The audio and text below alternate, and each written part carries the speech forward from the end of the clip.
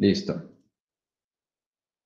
Bueno, entonces, la semana pasada lo último que vimos fue eh, las pruebas de permutación. Yo agregué unos slides para, para que entiendan un poquito más las pruebas de permutación. Cuando tengan tiempo, revisen los slides. les van a dar algunos, algunas ideas sobre, como para corroborar un poco lo que vimos de las pruebas de permutación. Hoy vamos a ver una cosa que se llama el bootstrap. Y el bootstrap es tal vez una de esas técnicas estadísticas que más revolucionaron a la estadística. Es una técnica desarrollada por allá como los años 80, 90. Entonces, relativamente nueva, relativamente nueva, pensando pues comparándolo con, con otras eh, mucho más antiguas, pues esta es bastante nueva. Bueno, entonces, eh, para, hacer una introducción al Bootstrap, mm, lo importante, recordemos un poco cómo funciona la estadística inferencial, lo que nosotros decimos estadística inferencial, es que tenemos una población y queremos sacar alguna información o dar, algunas conclusiones, hacer una inferencia sobre la población. Pero entonces la población normalmente no está disponible para nosotros. No toda la población está disponible. Entonces uno lo que hace es que toma una muestra y a partir de la muestra, uno le saca a la muestra un valor o un estadístico que eh, le va a permitir hacer alguna inferencia o sacar alguna conclusión sobre la población. Entonces, eh, digamos que queremos estimar el, promedio de algunos estudiantes. Entonces, lo que uno haría es entender primero que la población son todos los, todos los, sujetos que en los cuales uno está interesado, entonces serían todos los estudiantes, por ejemplo, de la Universidad del Norte. ¿bien? Y debemos entender que hay una variable aleatoria, ¿sí? Que va a caracterizar esa población. En este caso, pues esa variable aleatoria, si queremos eh, eh, verlo, es el promedio de cada estudiante.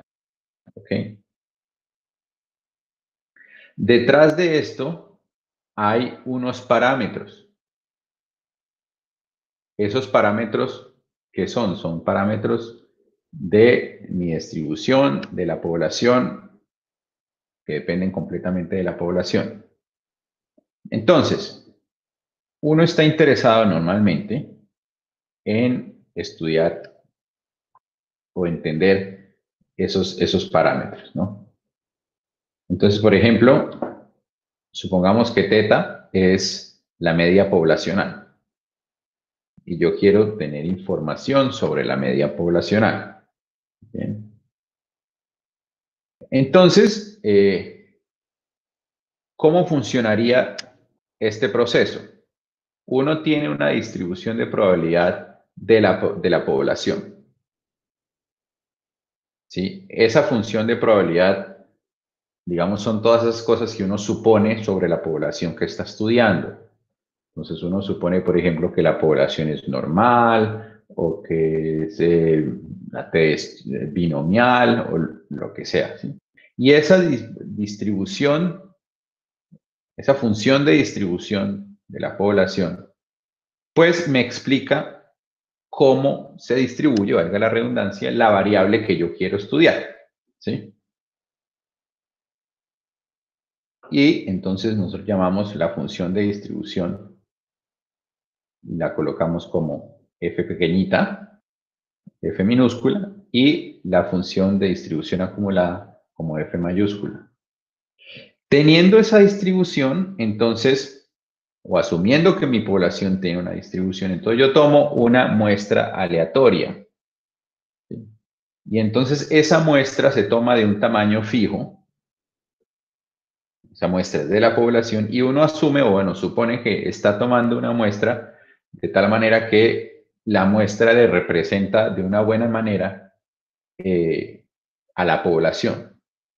En otras palabras, uno supone que al sacar esta muestra, la probabilidad de obtener cualquier miembro de la población es la misma. ¿Bien? Eso es importante.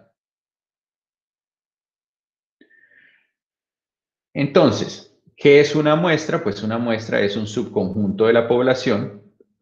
Cada valor de mi muestra, cada uno de los n valores de mi muestra, es una variable aleatoria.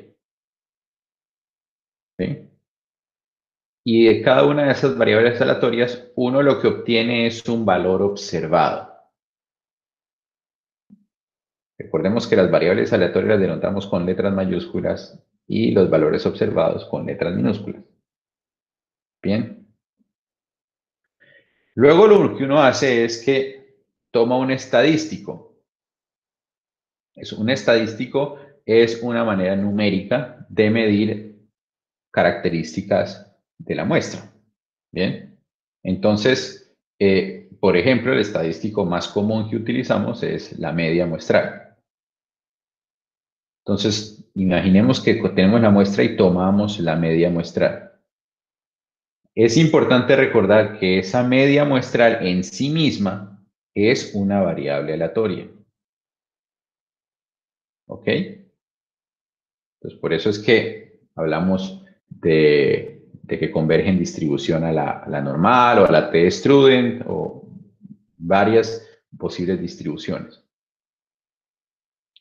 Y la idea es que a partir del estadístico de mi muestra, entonces hagamos inferencias sobre los parámetros de la población. Bien. Ese es el, ¿cómo decirlo? El objetivo completo de, la estadística inferencial. lo que acabamos de ver fue como una especie de resumen de lo que hace una persona en estadística inferencial. Pero entonces, ¿de dónde viene ese? Eh, bueno, uno quiere hacer también la inferencia con cierto nivel de confianza o de precisión, es decir, que lo que yo esté diciendo sobre mi población pues tenga algo de confianza. Entonces, ¿de dónde vendría esa confianza que yo tengo de este procedimiento de tomar una muestra, sacar la muestra y tener una, a partir de, del estadístico, dar una conclusión sobre mi población. ¿De dónde viene esa confianza?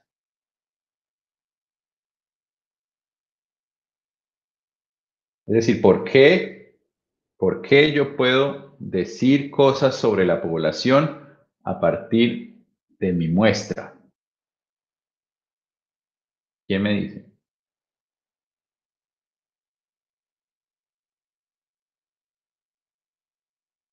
Ni idea.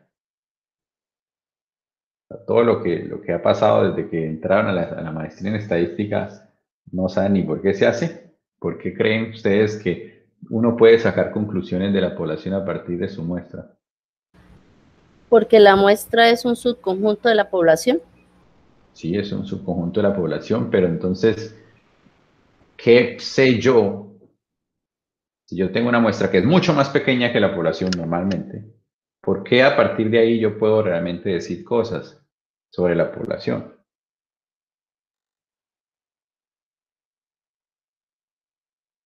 Bueno, eso es una, una porque, porque la representante es una muestra representativa. Lo que pasa es que, digamos, y si yo tomo el estadístico, ¿por qué yo a partir de ese estadístico puedo dar conclusiones sobre la población? ¿Yo qué sé sobre ese estadístico?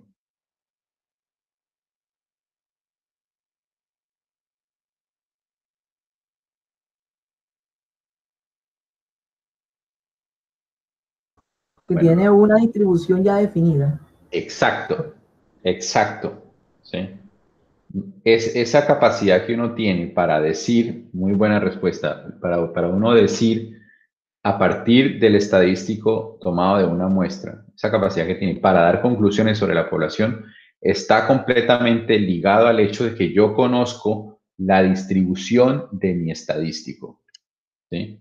que la mayoría de veces pues es la distribución normal de lo que hemos visto hasta el momento, pero también lo hemos visto que, por ejemplo, la varianza, eh, la distribución es chi cuadrado, etcétera, etcétera, ¿sí o no? Entonces, básicamente, toda la inferencia que podemos dar sobre nuestra población se basa en el hecho de que conocemos la distribución o por lo menos una aproximación de nuestro estadístico. Bien. Ahora, preguntemos lo siguiente. ¿Cuál es la verdadera distribución de mi, eh, de mi muestra, digamos?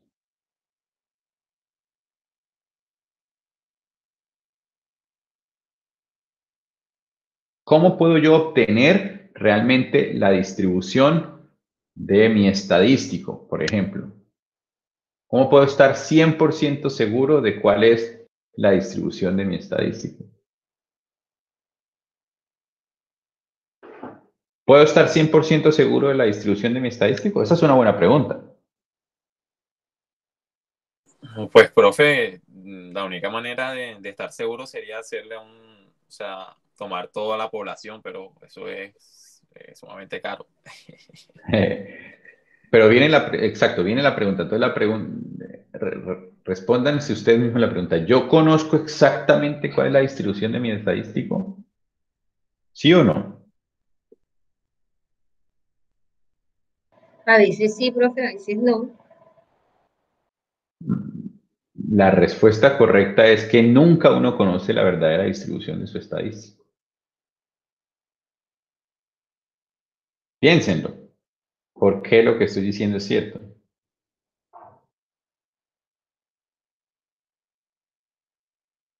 O sea, siempre se ha dicho, bueno, lo que nos han comentado es que ella tiende a, o, o, ¿cómo es que? Eh, tiende a comportarse como una distribución normal o tiende a una chi cuadrado. No dicen que es una chi cuadrado o que es una distribución normal. Exactamente. Exactamente, lo que todos hablamos es que tiende a una distribución normal. Es más, cuando hemos hablado de que conocemos la distribución de nuestro estadístico, hacemos una suposición sobre la distribución de la población. Pero realmente la distribución de la población, pues, hay maneras como de tener ideas de la distribución de la población, pero pues uno no la sabe.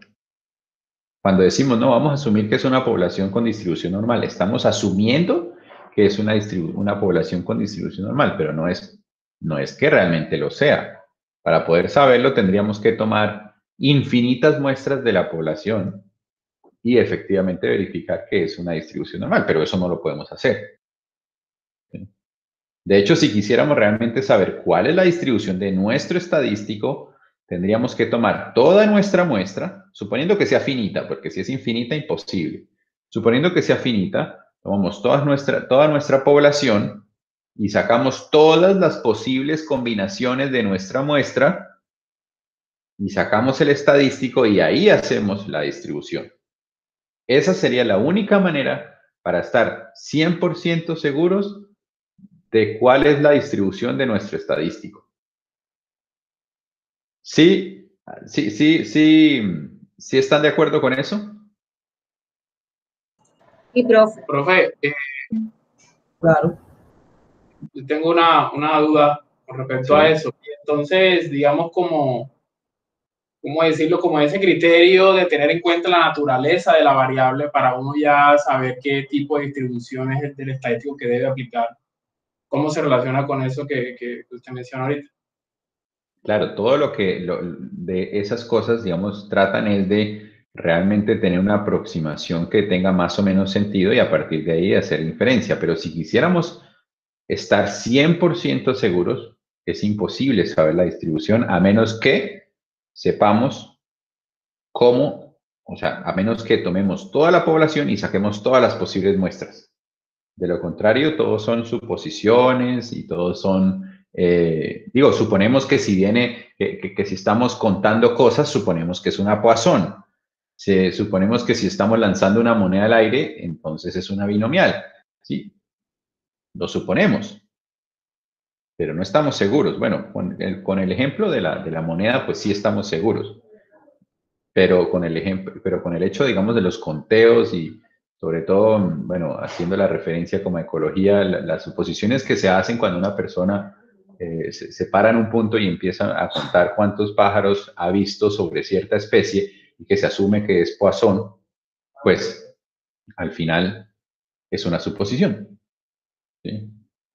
Tiene una naturaleza que parece ser poisson, pero es, no podemos corroborar que efectivamente la cantidad de aves que vemos eh, es un proceso aleatorio que viene en la distribución de Poisson. Más bien lo suponemos porque tiene esa naturaleza, pero si quisiéramos ser 100%, estar 100% seguros de, la, de esa distribución, tendríamos que poner a infinitas personas a observar eh, eh, las aves y determinar cuál es la distribución que tiene. De lo contrario, es suposiciones, ¿sí? Ok, ok. Pero que en términos prácticos funcionan. No estoy diciendo que no, solo que en general uno tiene que conocerla para poder saberlo perfectamente.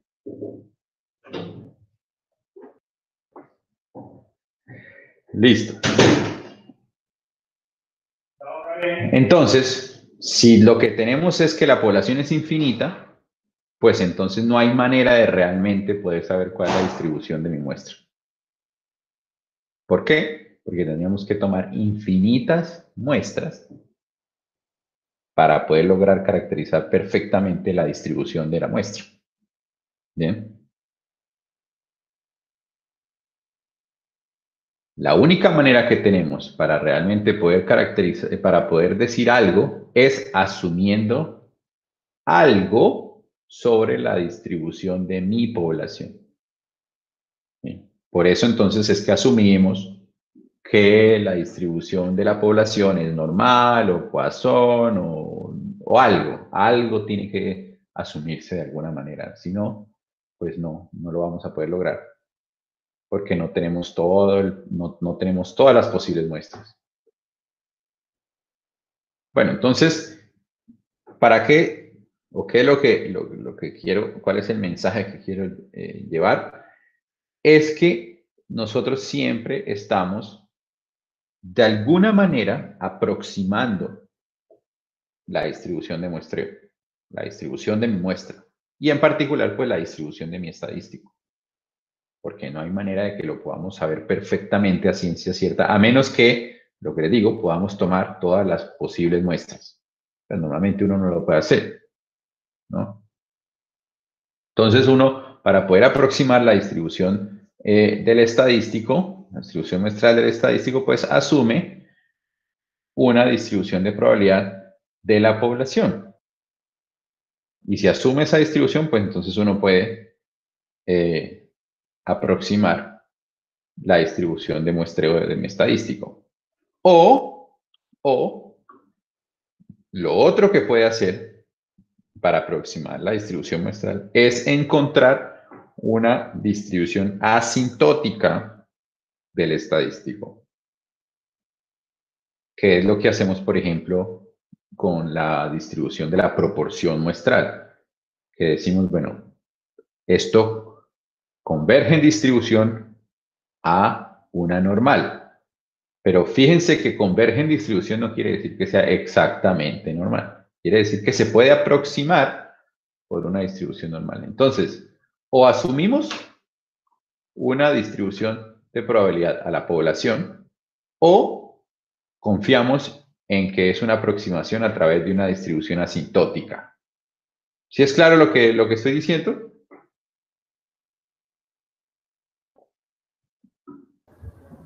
Yo lo que quiero es que se den cuenta que de cualquier manera en que lo veamos, es una aproximación. De cualquier manera que lo veamos. Es una aproximación. Todo lo que hacemos, toda la estadística que hemos hecho hasta el momento son aproximaciones. Porque las distribuciones perfectas solo las podemos conocer si pudiéramos tomar todas las posibles muestras. Y normalmente pues eso no lo podemos hacer. En el caso de la moneda sí lo podemos hacer, porque ya sabemos que eh, las muestras son dos. Pero en el caso de, por ejemplo, observar cuántas aves, eh, la distribución de las aves que puedo observar en un punto, es imposible saberla. ¿sí? Pero la asumimos. El hecho es que tenemos que hacer una aproximación. Y entonces tenemos una tercera, tercera manera de aproximar la distribución de mi estadístico.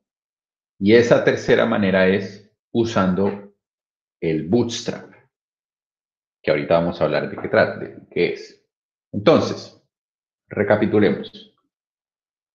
Es claro que tenemos que obtener, o para poder sacar inferencias sobre nuestra población, tenemos que tener una distribución aproximada de nuestro estadístico. ¿sí? Para poder hacer eso, tenemos que ya sea asumir que nuestra eh, población tiene cierta distribución o hallar una distribución asintótica de ese estadístico o usar el bootstrap. ¿Sí?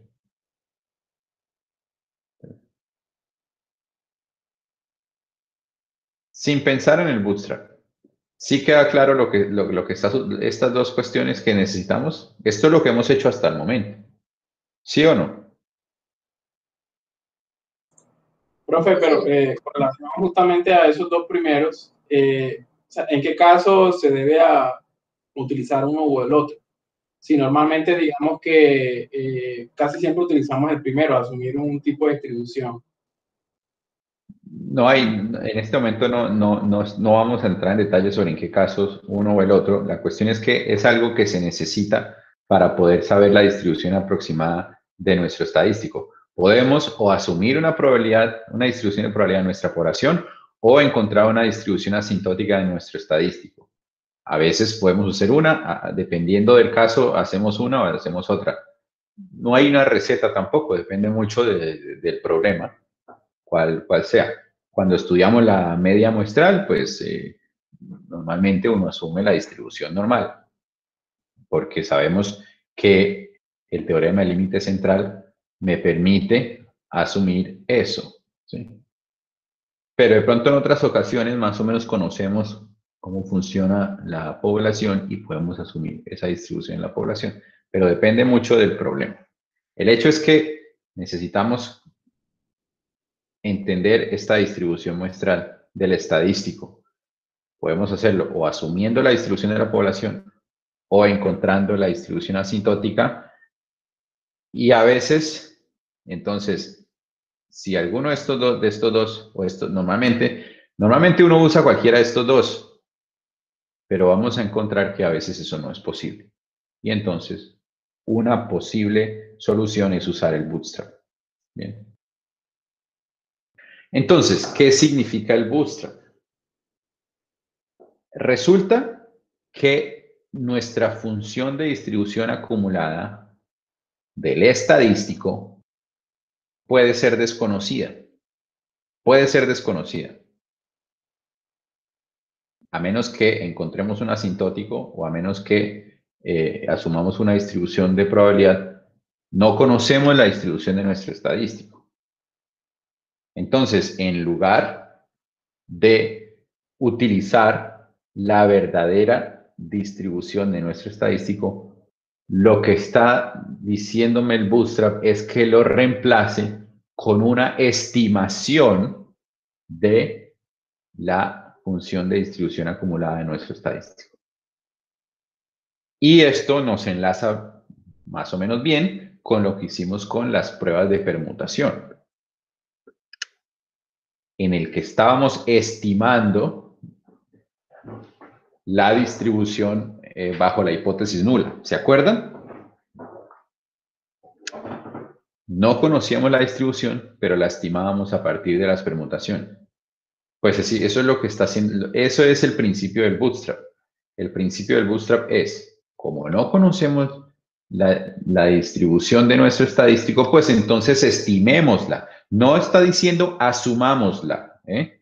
estamos diciendo estimémosla de alguna manera. Fíjense que el concepto es distinto. Tradicionalmente lo que hemos hecho, lo que hicimos en estadística matemática, era asumir la distribución de alguna manera, ya sea por asumir cosas en la población o por eh, considerar un, estadístico, un estadístico asintótico. Pero en este caso el booster nos está diciendo no la suma, no asuma nada sobre, sobre f, sino estímelo. ¿Sí queda clara la diferencia? Hola, hola. Sí, profe. Señor. Y eso es lo que llaman el, en inglés el plugin principle, como, como, como el, no, no, no, no, tengo ni idea cómo traducirlo. ¿Alguien que me ayude? ¿Alguien? ¿Nadie? Bueno, no importa. Entonces, plugin principle se quedó para plugin siempre. puede ser enchufe. Sí, por eso es que suena feo, el principio del enchufe. Suena más bonito en inglés. Plugin principle. Sí, suena más bonito. bueno, dejémoslo en plugin principle.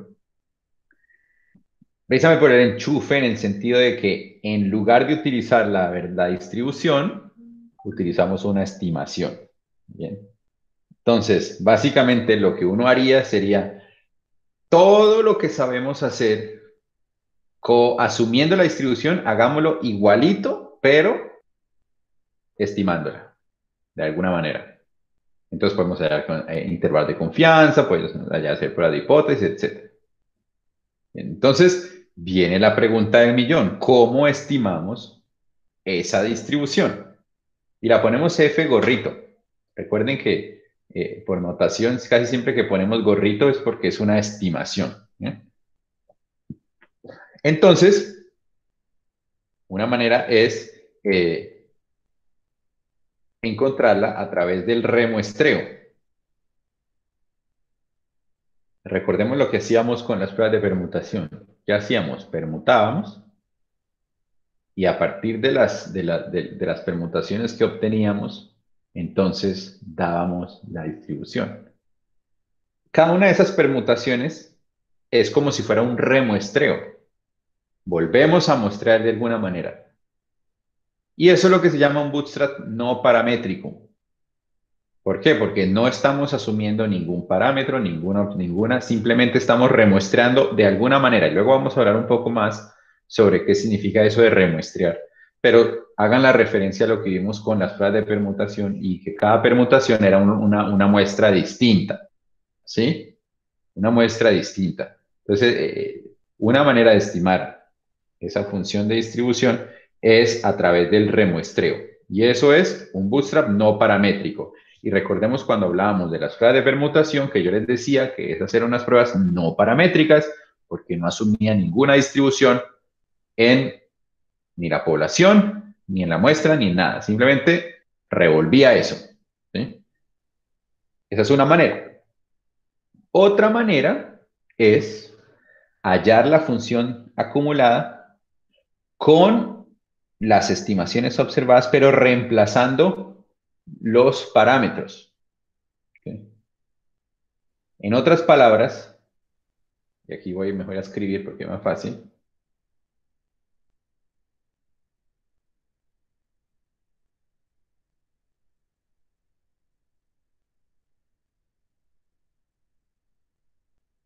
En otras palabras, nosotros, por ejemplo, podemos asumir, o podemos, una, una, lo que una persona, digamos, haría normalmente, pues digo, vamos a asumir que mi población tiene una distribución, por ejemplo, normal.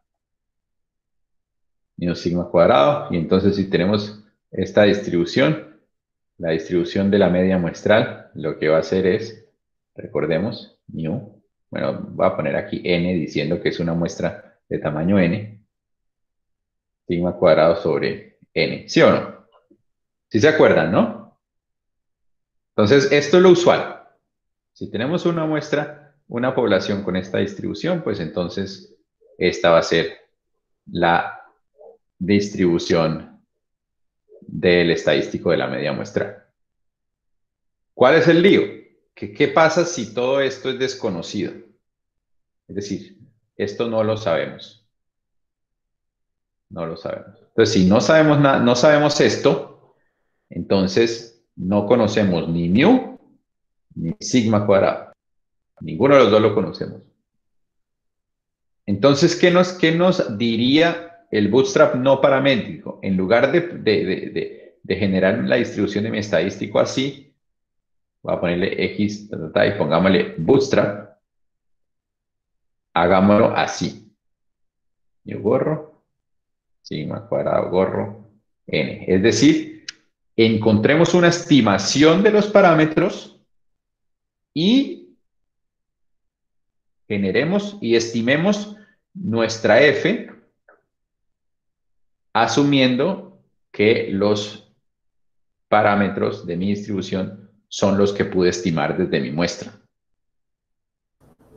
Esa sería la paramétrica, profe. Esa sería la paramétrica. ¿Por qué paramétrica? Es precisamente porque hay detrás hay unos parámetros que hay que estimar, ¿sí? Entonces, ojo. En la primera, no paramétrica es simplemente remuestrear. Vuelva, encuentre muchas muestras, de alguna manera, que luego vamos a hablar de eso, pero encontremos otras muestras y a partir de esas otras muestras generemos la distribución del estadístico que queramos.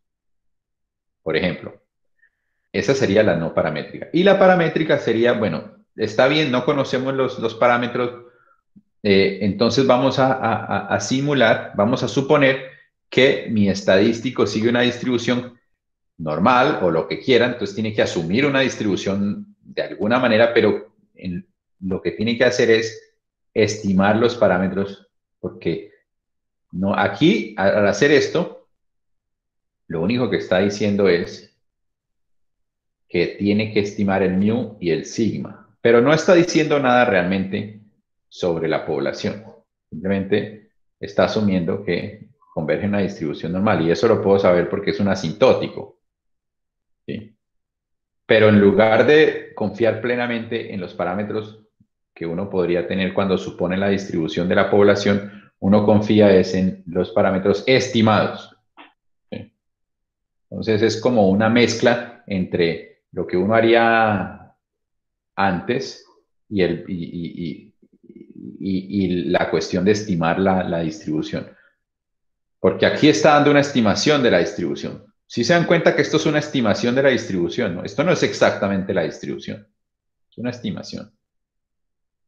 Pero asume cierta parte paramétrica. ¿Bien? ¿Sí es claro eso?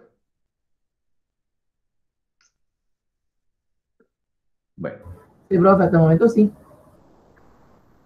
Bueno, entonces ya sabemos que el bootstrap, entonces el principio del bootstrap es estimar la distribución, de alguna manera. ¿sí? La distribución muestral. Y pues una vez uno tiene estimado esa distribución muestral, F gorro, pues entonces, ¿qué puedo hacer? Pues podemos hacer todo lo que ya hemos hecho antes. ¿Sí? Porque esta distribución muestral, pues, esto es una distribución, ¿sí? ¿Y qué, habíamos dicho antes? Eh, en estadística matemática que decíamos que si conocíamos la distribución podíamos sacar cuál hipótesis, podemos hacer eh, eh, intervalos de confianza y eso, ¿sí o no? Entonces, ahora no la conocemos, pero la, la, estimamos y entonces a partir de esa estimación pues podemos hacer todo lo que ya sabemos hacer, ¿no? Entonces, esto es lo que es el bootstrap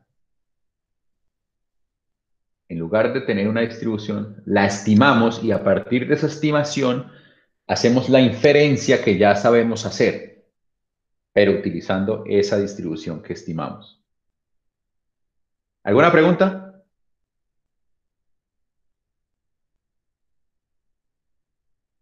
¿Todo bien? Sí, profe. Todo bien. Bueno. Todo bien. Entonces, eh, un poquito de historia sobre el Bootstrap, más o menos en el 77, este señor, Bradley Efron, profesor de Stanford, está viejito. Eh, él, vino con esta idea. Eso no, no, fue el único, no fue el primero en mencionar ideas parecidas, pero fue el que como que recopiló todo esto y, y, y habló del bootstrap. Y fíjense que no fue algo que en la estadística o los estadísticos de la época eh, aceptaran inmediatamente, porque es que fíjense lo que estamos, lo que está pasando. O imagínense esto, ustedes no están sacando conclusiones a partir de una distribución conocida, sino algo que ustedes están estimando con su muestra. ¿Sí? O sea, ¿de dónde creen que se está estimando este F gorro? Este F gorro se va a estimar de los valores que tienen su muestra. Entonces yo tomo una muestra y yo estimo una, la distribución de, mi población a partir de, de la muestra que tengo. Entonces es como que, eh, o sea, no sé si logran ver como la, la discrepancia, como, como esa, esa, esa paradoja que hay ahí, que yo quiero saber cuál es la distribución de mi población, entonces yo, y yo quiero sacar inferencias a partir de mi muestra, pero para hacerlo lo que hago es que estimo la distribución de mi población a partir de mi muestra. ¿Sí me entienden? Miren, miren, el círculo vicioso que hay aquí. pongamos el, este. Pues el, círculo normal lo que haría es tengo una población, yo tomo una muestra y a partir de la muestra, yo asumo que la población, o bueno, de alguna manera hay una distribución y saco la inferencia. ¿Sí? Pero en el bootstrap lo que haría sería, yo tengo una población, yo saco una muestra, a partir de la muestra estimo una distribución de mi población y luego con esta estimación saco una inferencia sobre la población de, sobre la distribución de mi población. Si ven, si ven como, el, como que pareciera como que uno estuviera haciendo un círculo. ¿Sí lo ven? Como que tengo una población, le saco una muestra, asumo una distribución y saco inferencia. Ese es el círculo normal. Pero en cambio, con el bootstrap lo que estamos diciendo es, tengo una población, saco una muestra, estimo la distribución de mi población a partir de mi muestra y luego a partir de mi muestra también saco una inferencia de la población. Es como un poco difícil de creer que esto tenga sentido. Y en la época, muy pocas personas le creyeron. Pero bueno, luego desarrollaron la teoría y se dieron cuenta que efectivamente sí funciona. Tanto así que él recibió la, medalla de la Nacional de Ciencias en 2007 en los Estados Unidos. De hecho, en el discurso que, da Bush para darle la medalla, pues él habla, si hubiera sido, eh, él habla del bootstrap, Bush, curioso.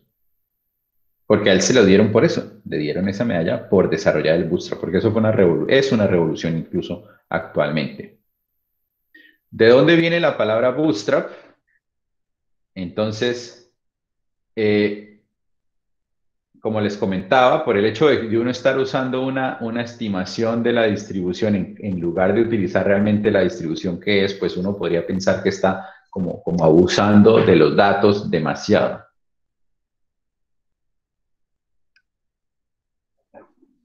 Entonces, el bootstrap paramétrico utiliza los estadísticos como parámetros, más o menos. El bootstrap no paramétrico es como si estuviéramos tomando muestras de nuestra muestra. Fíjense que por los dos lados hay una discrepancia, hay como una, una ¿cómo se llama? Una paradoja, como que estamos utilizando mucho la muestra. Bien. Entonces, el, término de bootstrap viene de, este, de, un libro que se llama Las aventuras del barón Munchausen. Eh, eh, en este libro, yo nunca me lo he leído, pero me sé la historia de dónde salió este bootstrap. Hay un cuento de este señor, Baron Munchausen, que él está sumergido bajo el agua y está atrapado en el fondo del mar. Y entonces cuenta la historia que él se agarra sus botas y al agarrarse las botas jala y sale del agua. No, sé si, no sé si entienden lo que está pasando. Es como esos de los muñequitos. Como que él estaba en el fondo del mar, se coge las botas, tira para arriba y entonces mágicamente al tirar para arriba puede tirarse a sí mismo fuera del agua. Entonces es una expresión en inglés y que viene de este, de este, este libro. Pull oneself up by one's bootstraps. y las bootstraps son como estas agarraderas de las botas, como tirarse uno mismo de las botas. Yo no sabría, no, no sabría decirlo cómo decirlo en español, pero esa es la historia de las bootstraps. Es como que del nombre del bootstrap, porque es como que con la misma muestra que usted tiene, hace todo lo demás. Entonces, como que estoy simplemente cogiendo mi muestra y, y, y sacando, como sacándome del lío con mi propia muestra, con el, lío de no saber mi, distribución, los, me lo saco a partir de mi propia muestra. Entonces, por eso sale esa, ese nombre. Bueno, aquí un poquito de historia, lo que quiere leerla. Ok. ¿Preguntas hasta el momento?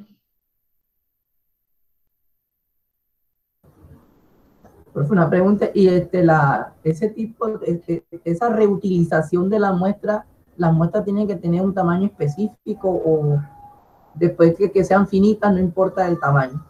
Fíjese que justamente pues, todas esas cosas son las que la gente se empezó a preguntar, bueno, ¿cómo así? O sea, que yo puedo hacer todo esto a partir de mi propia muestra. Y la respuesta es que en principio, bueno, obviamente hay algunas cosas que uno tiene que tener en cuenta, pero en principio no importa el tamaño de la muestra. En principio. No hay nada que me impida sacar la distribución a partir de mi muestra. No importa el tamaño. Obviamente en la práctica, pues sí, pero en el principio del asunto, pues no. Entonces, ¿cómo es el bootstrap no paramétrico? Recordemos entonces que el bootstrap no paramétrico es sacar muestras de la muestra, ¿no?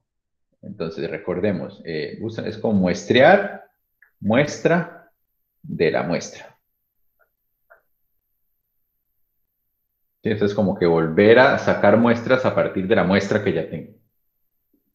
Recordemos las pruebas de permutación, que eso era lo que hacían, ¿no? Entonces, ¿cómo funciona?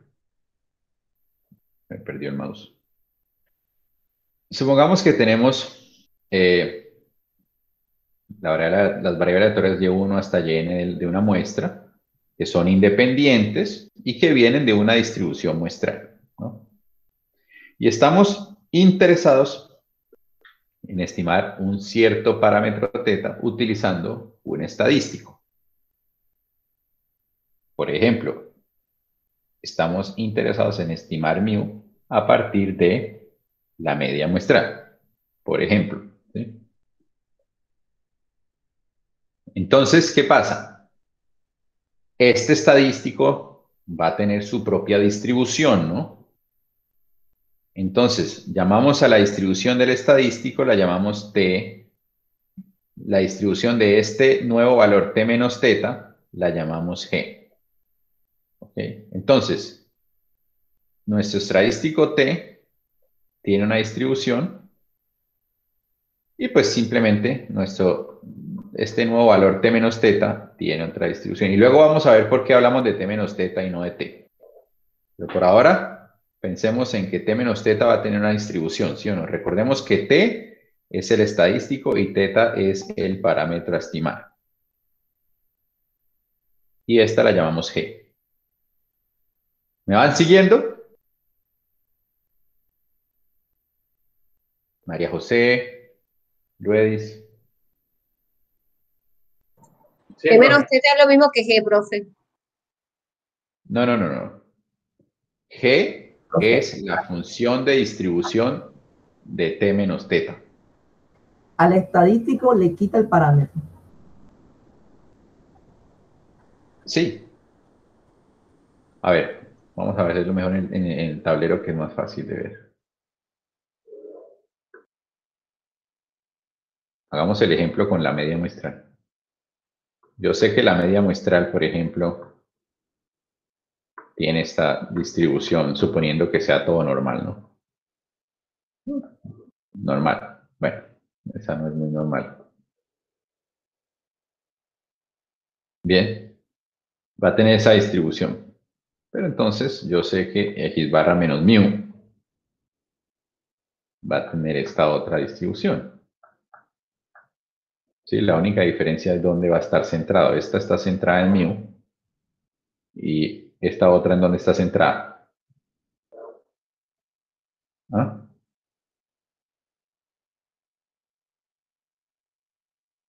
¿Esta dónde está centrada? Cero. En cero. Cero. Es una normal centrada en cero. Entonces, eh, eh, en, en, de manera general, decimos, este es mi estadístico, ¿sí?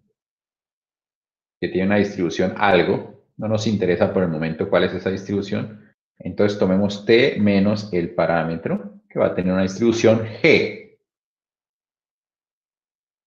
¿Sí? Que en este caso g es igual a la normal, pero g puede ser cualquier cosa. ¿Sí lo entienden, cierto?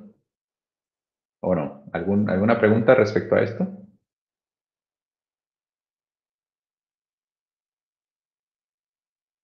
O sea, profe, la está, está restando el parámetro para dejarla centrada en, en cero. Básicamente, básicamente. Y luego vamos a ver por qué restamos el parámetro. Pero por el momento, yo quiero que me crean que t menos teta tiene una distribución y que la vamos a llamar g. Solamente la estamos llamando g, no estamos haciendo nada raro. Es el nombre que le ponemos. ¿Sí? Ok. Luedis. María José. Sí, sí, profe. No escuché, no, no escuché ni a Luis ni a María José. Sí, profesor, pero lo que me imagino que usted explicará es cómo se calcula G. Ah, claro, eso es, es por ahora. Porque Paciencia, paciencia. Imagino que para allá que debemos terminar, porque Bootstrap lo que quiere es buscar esa distribución del parámetro. Exacto. Por ahora lo que hemos estado haciendo todos estos tiempos, todos estos, todo este tiempo lo que hemos estado haciendo es suponiendo que esa G es normal o T de student o chi cuadrado o lo que sea. Pero por el momento, dejémosla en G. ¿Listo? Ok.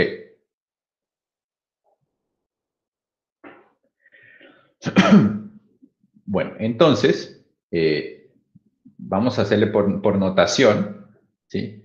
Vamos a decir que se llama G, por eso le estamos dando este nombre, G. ¿Ok? Y esta G, la vamos a poner como G, ahí se pone un poquito harta matemáticamente, pero bueno, vamos a ponerla así, GT dado F.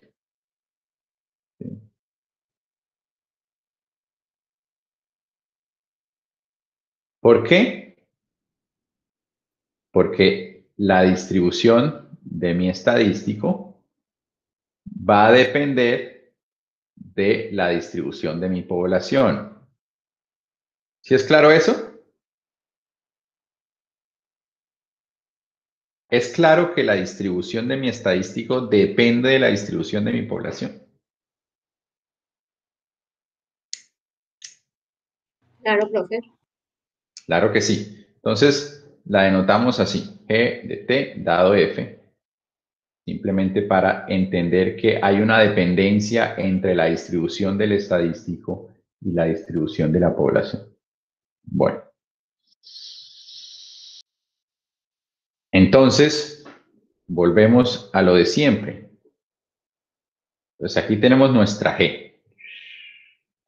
Esta es G. Eh, y la ponemos GTF porque depende de la, de la distribución de mi población. Y entonces,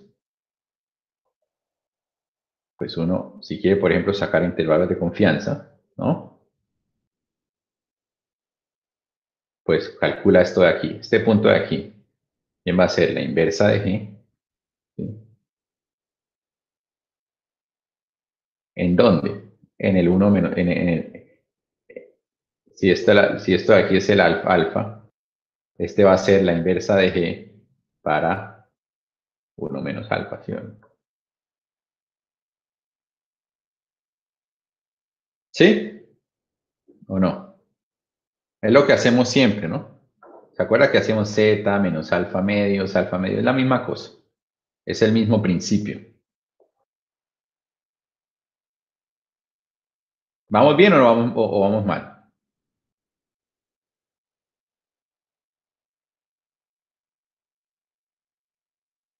Hola, hola. Bien, profe, falta mucho para el ejercicio. ya casi, ya casi, ya casi. Bueno, entonces ya sabemos quién es G.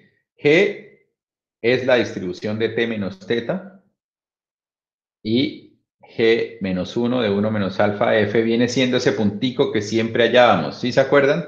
Para hallar los intervalos o las pruebas de hipótesis todo eso. ¿Correcto? Listo. Ahora F gorro va a ser la distribución que uno puede estimar. Bien. Entonces, ¿cómo podemos derivar el intervalo de confianza? Esto, esto es lo que hemos hecho todo el tiempo. Esto es lo que hemos hecho todo el tiempo. Ojo. ¿Sí se acuerdan o no se acuerdan? Esto es como cuando decíamos, bueno, voy a hacer un pequeño repaso así rápido para que hagan la analogía. Entonces teníamos que, queríamos encontrar dos puntos en un intervalo de confianza tal que eh, teníamos que x barra menos mu, ¿no? menor que, ya bueno, y aquí poníamos sigma sobre raíz de n.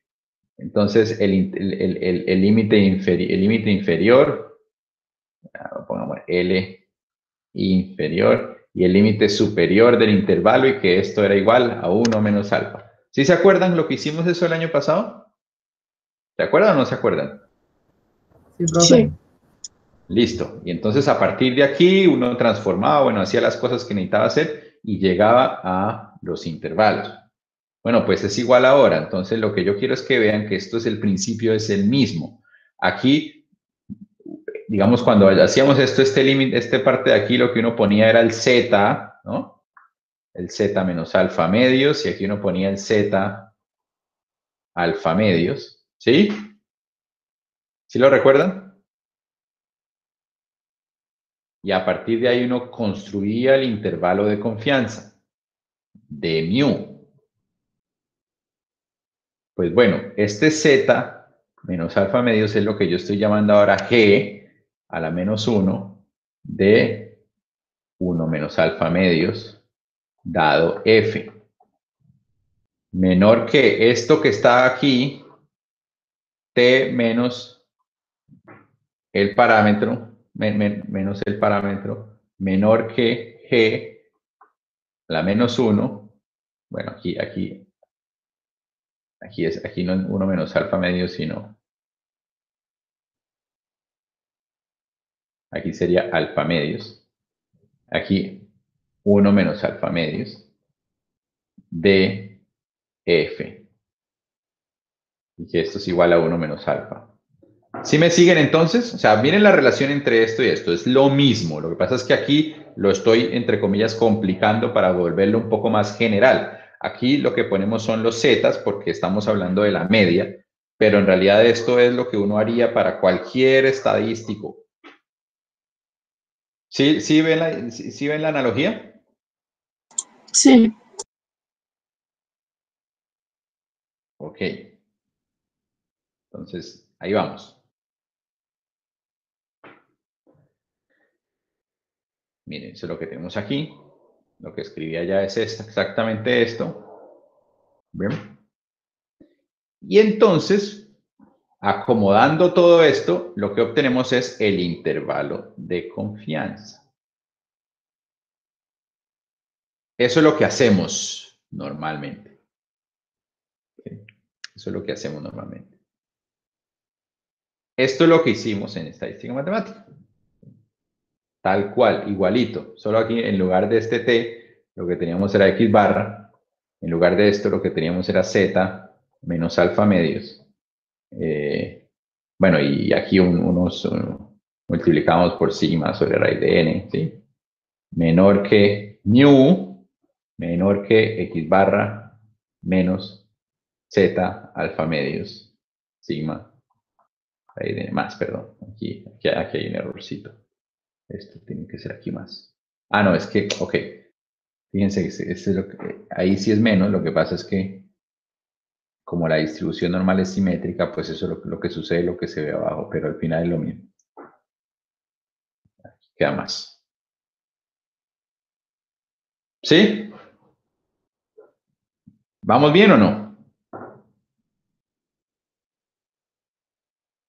Sí, profe, está haciendo la analogía, no estamos usando ninguna distribución conocida, sino una distribución... Eh, es muy general, exacto, una distribución general, asumiendo que no conocemos nada, ¿listo? Ahora, listo, entonces, ahora sí viene la pregunta y, se va a responder de la misma manera como prácticamente explica ahorita Jorge. ¿Cómo podemos realmente calcular este intervalo? T, ¿lo conocemos? Recordemos que este es el estadístico de mi muestra. ¿Conocemos a T? Hagan la analogía con lo que está abajo. ¿Conocemos a T?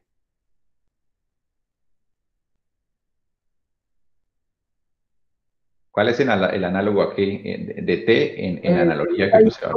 X barra. X barra. ¿Conocemos a X barra? Bueno, si es de la muestra, sí. Pues obvio, si ya, ya tenemos la muestra. Ya tenemos la muestra. Entonces, Digo, si no tenemos muestra, ya, ¿qué, estamos haciendo? Nada. si tenemos la muestra, y si tenemos la muestra, conocemos T. Listo, entonces T lo conocemos. No hay lío con eso. ¿Conocemos G? Es la pregunta. Esa es la que se está buscando, profe. Esa es la que se está buscando. Entonces, esta parte de aquí no la conocemos. Uno la asume, la supone y por eso podemos calcular el intervalo de confianza, pero en principio no se conoce. Entonces, lo que podemos hacer para hallar G, ¿sí? Para hallar G, es hacer algo con F, porque la razón por la cual no conocemos G es porque no conocemos F. Si conociéramos F, es decir, eh, recordemos que esta es la distribución de la población F. Entonces podríamos conocer G. Pero no lo conocemos, entonces lo que hacemos es reemplazar F por F gorro. Y entonces tendría, este sería el intervalo de confianza obtenido por el bootstrap. Por el bootstrap que la única diferencia es que tendríamos este F gorro. Entonces miren cómo funcionaría. Ahora sí, ahorita, va a empezar a tomar forma. La explicación, lo que, todo lo que acabo de decir ahorita puede verse un poco complicado. Cuando lo, miremos en, en, la vida real, lo que está pasando va a ser más fácil, pero es que es importante entender todo lo demás para entender por qué lo que estamos haciendo tiene sentido. Entonces, tenemos, imaginemos que tenemos una muestra aleatoria. ¿Cómo construimos, cómo construimos esto, esto, este intervalo de confianza? Entonces, lo que haríamos es lo siguiente.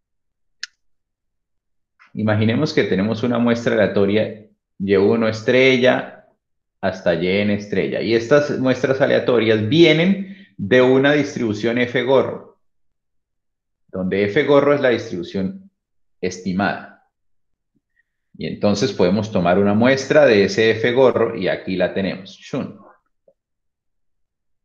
Y entonces a partir de, este F, eh, de, de esta muestra que tenemos aquí, sacamos el estadístico. Bien. Que sería T asterisco. ¿Y qué es T asterisco? Es el estadístico que queremos estudiar, pero ya no sacado de, la, de una muestra de mi distribución original, sino de mi distribución estimada. Bien. Y con este estadístico, pues lo calculamos en mi muestra y ahí tenemos, ya no tenemos un T, sino que tenemos un T asterisco. ¿Por qué T asterisco? Porque es a partir de la muestra que viene de mi, distribución estimada, sacamos el, el T. Bien. Y entonces, la función G que teníamos antes, recordamos que esta, esta G, T que venía de la muestra original, ahora lo que vamos a tener es un G de una T que viene de la muestra de la distribución estimada. Bien. Y entonces esta, esta G lo que va a hacer es la distribución de T asterisco gorro menos T minúscula. Y ojo, voy a hacer una pausa aquí porque esto, esto es importante. Entonces, entonces, decíamos que con t menos teta obteníamos la distribución TDF, ¿sí o no? Ahora lo que vamos a tener es que con t asterisco menos t obtenemos g t dado f gorro. Entonces la distribución esta que estamos colocando aquí va a ser la distribución de t asterisco menos t. t es el valor de mi asterisco, el, valor de mi parámetro o de mi estadístico en la muestra. Entonces, valor del estadístico de mi muestra. de la muestra que tengo, ya no hay nada que hacer, esto es. Y T asterisco es, es quién? Es el estadístico del remuestreo.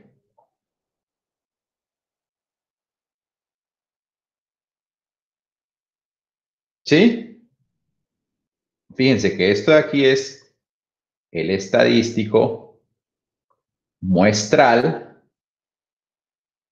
este es el parámetro poblacional y genero esta que es la que puedo usar para hacer el, intervalo de confianza, por ejemplo. Pero en cambio, ahora lo que tengo es T asterisco menos T, donde T asterisco es el estadístico del remuestreo, menos T minúscula, que es el valor del estadístico de la muestra que ya tengo. Si ven, si ven la analogía o la y, y también la diferencia que hay entre una y otra?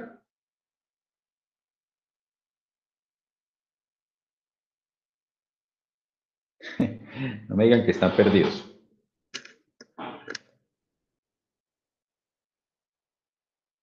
Respondan porque siento o que se durmieron o que están perdidos o que ya se fueron. Muchachos, Pues, profe, yo ahí voy un poquito perdido, pero supongo que me iré poniendo al día. Pero bien. Los demás.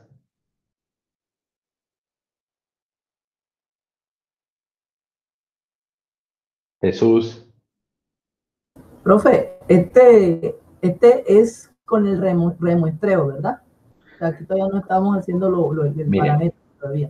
Este T chiquitico no es del remuestreo, es de la muestra que ya tengo. la muestra, no, pero el del asterisco. Este sí, es del remuestreo. Imaginemos que tenemos un, hicimos un remuestreo y entonces tenemos este T asterisco. El T pequeño es el, es el original de la muestra. El original de la muestra, sí. Luedis. Sí, sí, profe. Esperando el ejercicio. María José. Lo mismo. Zulmari, lo mismo. Sí, ahí voy. bueno, ok, vamos a ver si eventualmente llegamos a algo que, nos, que podamos todos agarrarlo. Bien. Entonces,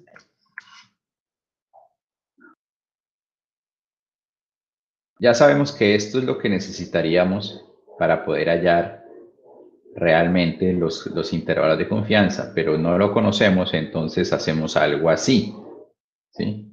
Y obtenemos estos intervalos de confianza. Este de acá. Entonces la pregunta es, ¿cómo obtenemos realmente eso? Por ahora todo ha sido muy, entre comillas, hipotético, suponiendo que uno puede estimarlo. Bien.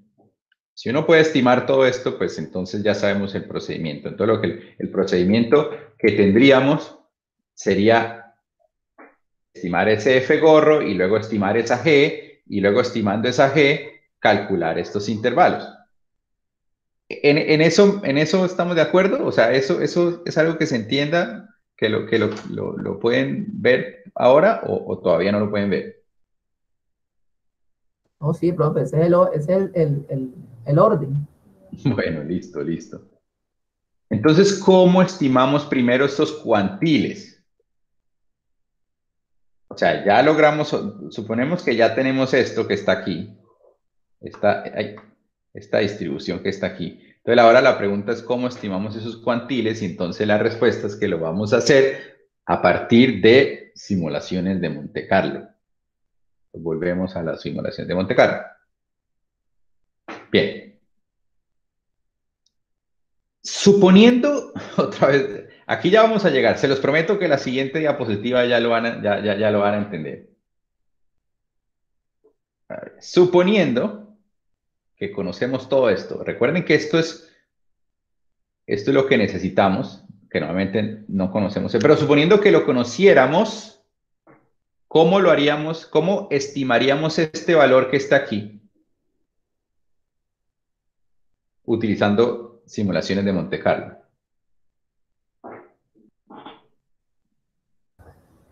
Sería replicándolo, profe. ¿Cómo replicamos?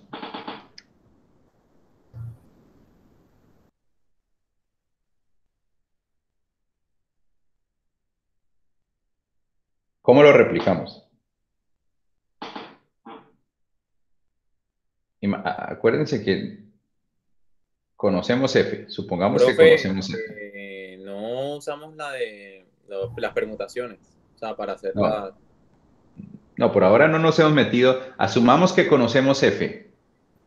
Si conocemos F, ¿cómo, ¿cómo podemos estimar con simulaciones de Monte Carlo estos cuantiles?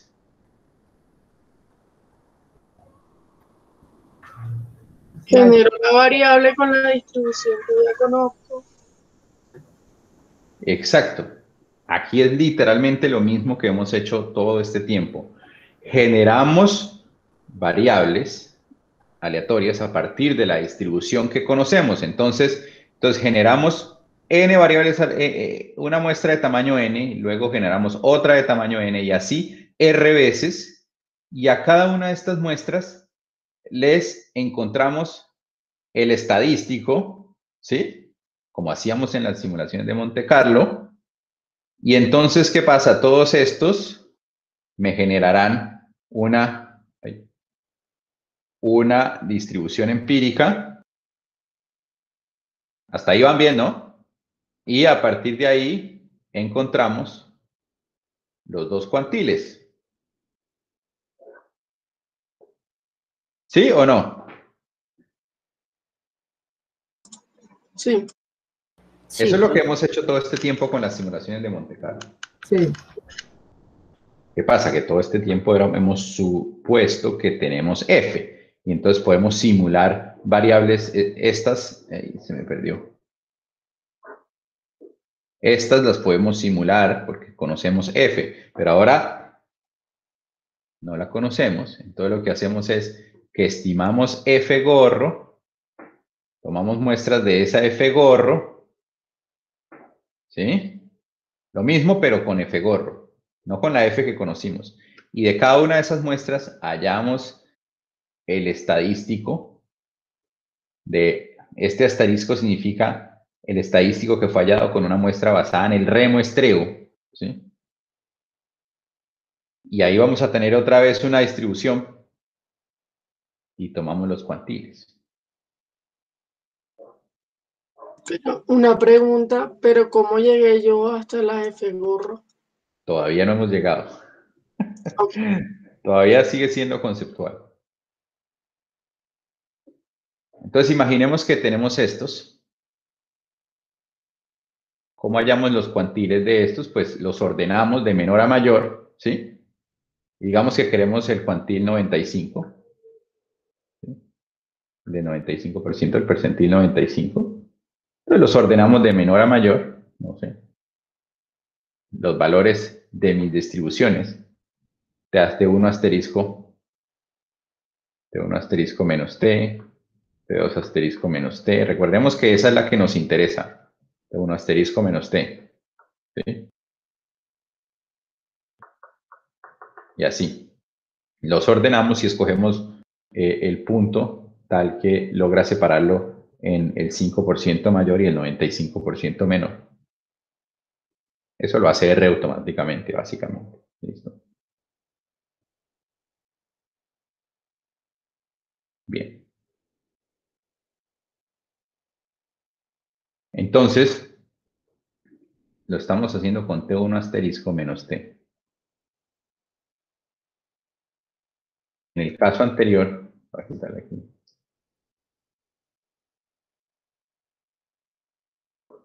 Si lo hubiéramos hecho conociendo la distribución, lo habríamos hecho es con T1 menos teta. ¿Sí? Hubiéramos hecho lo mismo, pero con T1 menos teta. Pero aquí no lo hacemos con T1 menos teta, sino con T1 asterisco menos T. ¿Y por qué lo hacemos con T1 asterisco menos T y no con T1 menos teta? ¿Quién me, quién, ¿Por qué? ¿Por qué creen?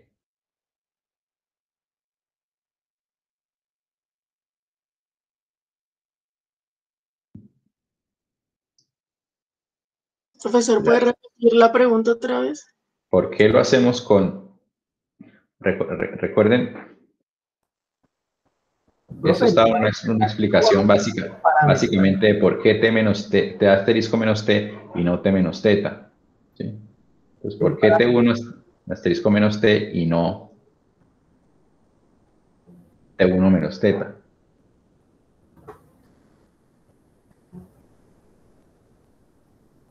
La, la respuesta es más fácil de lo que uno cree. Es que no conozco la- la- los parámetros de la población y se van a estimar. Exactamente, no conozco teta. Pues si no conozco teta, pues no puedo hacer nada con teta. Tengo que de alguna manera tener un valor que sea equivalente. Bien. Y entonces por eso utilizamos T1 asterisco menos T en lugar de T1 asterisco menos teta. Bien. Entonces ahora sí, ¿cómo funciona el bootstrap? ¿Cómo estimamos ese F gorro? Y la respuesta es más sencilla que todo el resto de cháchara que acabé de echar yo- de echarles yo. Esta es la respuesta. Muestreal, mues- muestreo con reemplazo. ¿Qué significa muestreo con reemplazo? ¿Ah? O sea, ya no permuto, sino que Exactamente. permutaciones es sin reemplazo. Lo- Exactamente. Aquí es con reemplazo. ¿Qué es una permuta? ¿Qué es un muestreo con reemplazo? Es que, por ejemplo, si yo tengo 1, 2, 3, si yo quiero hacer muestreos con reemplazo, básicamente lo que estoy diciendo es que yo puedo obtener cosas de este estilo. Claro. Se vuelven a utilizar los mismos elementos. Por ejemplo, simplemente lo único que estoy diciendo es que la probabilidad de obtener cualquiera de estos es siempre la misma. ¿Sí? Es, estoy asumiendo que la probabilidad de obtener cualquier miembro de, la, de, de, de, pues, de donde estoy muestreando es igual todo el tiempo. ¿Bien? Entonces, ¿qué hace el bootstrap? No paramétrico, muestrear con reemplazo. Y así construimos FGOR. Entonces, muestreamos con reemplazo, hallamos el, el- el- el- estadístico, ¿sí? por ejemplo aquí, cualquiera sea el estadístico, y le restamos el estadístico de la muestra, que en este caso correspondería al estadístico del 1, 2, 3, ¿sí? Y a partir de aquí tenemos nuestro G.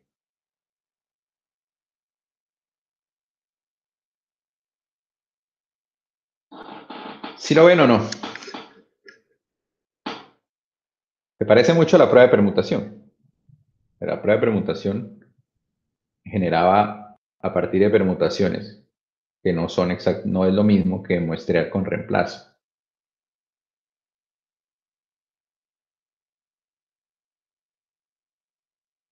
¿Me siguen o no me siguen ahora sí? Sí, profe, sí. Muy bien, ahora sí vamos a R. Después de la introducción. Lo que pasa es que es importante entender lo que hay detrás de este concepto, porque no es fácil entender por qué esto funciona. Esa es la verdad. Entonces, vamos a ver lo que, lo que, lo que vamos a hacer. Bien, entonces tenemos, vamos a escoger un R de 4999. ¿Todos ven? ¿Alcanza a ver? ¿Lo agrando? ¿Alguien ve poquito? Necesito, ¿me pueden confirmar que ven bien? Sí, profe, yo voy bien. Sí, profe. Listo. Sí, bien. Vamos a R. Y esto, esto se los voy a compartir a, ustedes, va a quedar ahí. Yo creo que ya está, de hecho, creo que ya está ahí en el... Ahorita le mando a, a- a José, le mando el, el, el link del grupo, de- del, perdón, del- Yo, lo ma- yo reenvío el link. Ah, listo. pero- Entonces, R 4999 quiere decir vamos a tomar 4999 muestras. Remuestras, base- básicamente. Remuestreo. Bien. Generamos un vector T, a- T estrella, T asterisco, que es el que vamos a ir calculando para cada muestra. Entonces, esto es una manera de generar un vector de tamaño R en, en R, valga la redundancia. Venga, se les muestro lo que se ve. Como digo, profe, ¿eso es, generar qué? Esto es para generar un, miren, genera un vector de tamaño R. Ah, ya. Esto es como lo que es como un el vector mismo- vacío, profe. No, este no es vacío, porque si fuera vacío lo haríamos así, miren. ¿Se acuerdan cómo lo hacíamos nosotros? Re- Esto es como lo mismo que hacer esto. Da, da igual. Ah, ok. Simplemente lo hubieran podido, podido hacer así o lo coloco como numeric R. Da igual, da igual. Pero tienen que ser ceros. Sí. Da igual hubiéramos podido haberlo hecho con vacíos. La verdad no, no cambia mucho. Entonces aquí estoy tomando simplemente una, una semilla para que no me dé nada raro. Y fíjense lo que va a hacer este proceso que está aquí. Va a ser R veces el remuestreo. Bien. Entonces va a generar, va a tomar muestras de F gorro. ¿Quién es F gorro? Pues la distribución que se forma al tomar muestras con reemplazo. ¿Y cómo tomo muestras con reemplazo? Con este código que está aquí. Sí. Ah, me faltó, perdón, me faltó correr lo que está arriba. Uf, lo siento. Les dije, esto, esto, esto no fue lo que yo comencé a hacer. Otra vez. Antes de, de- de hablar de eso, necesitamos, necesitamos eh, entender los datos, ¿no? No sé, tenía el R ahí más abajo de lo que quería y comencé donde no era. Entonces, tenemos estos datos que se ven aquí. Estos datos son datos reales del tiempo de falla de un aire acondicionado en un avión. Entonces, ¿qué quiere decir eso? Que esa es la muestra inicial. Entonces, ¿qué quiere decir esto? Que el primer aire acondicionado falló a las tres horas de estar eh, andando. El segundo, cinco, siete y así. El, el- el último que tenían por ahí se demoró 487 horas en fallar. Bien. Esa es la muestra que tengo. Le saco la media muestral y me da un 108. Bien. Y queremos entender más o menos o sacar una inferencia sobre la población, pero esta es la muestra. ¿Listo? Entonces dibujemos primero eh, empíricamente, lo que está ahí, ya les explico qué es eso. Esperen.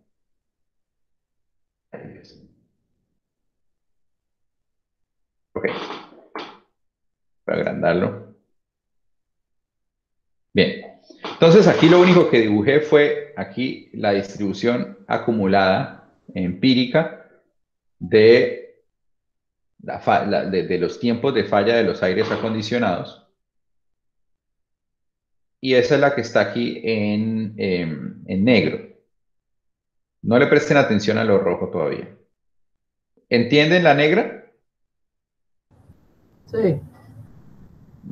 María José, Zulmari, Luedis, Adriana. ¿Entienden la negra, José? Sí, señor. Esa y termina en uno. Acumulada, listo, sí. Entonces, empírica, empírica, ¿no? De mi muestra. Estamos hablando de la muestra. Bien. Entonces, aquí lo que pasa es que ese tipo de, de datos, pues, usualmente se modelan con una exponencial. Entonces le puse encima una distribución exponencial y bueno, tiene más o menos sentido, pero solamente como por curiosidad. Y este es el plot, ¿no? Recordamos la, gráfica del, del, plot entre la mi muestra y la distribución exponencial. Entonces, si ven que, pues, o sea, si bien se parece, pues no es, no es muy perfecto, ¿no? Recordemos que en el plot lo que uno espera es que esta línea roja sea la exactamente, o sea, como que trate de parecerse mucho a lo que se forma con los puntos. ¿Sí se acuerda? Sí, profe. Bueno. los puntos no sale mucho de la línea. De la línea sí, esa es la idea. Pero bueno, esto es como por revisar que, bueno, si bien estos los hubiera una persona modelado como una exponencial, pues cuando vemos el, el plot, pues no, tal vez no hubiera sido la mejor idea tampoco. Puede que sí, pero digamos que no es perfecto. La cuestión aquí es que no es perfecto.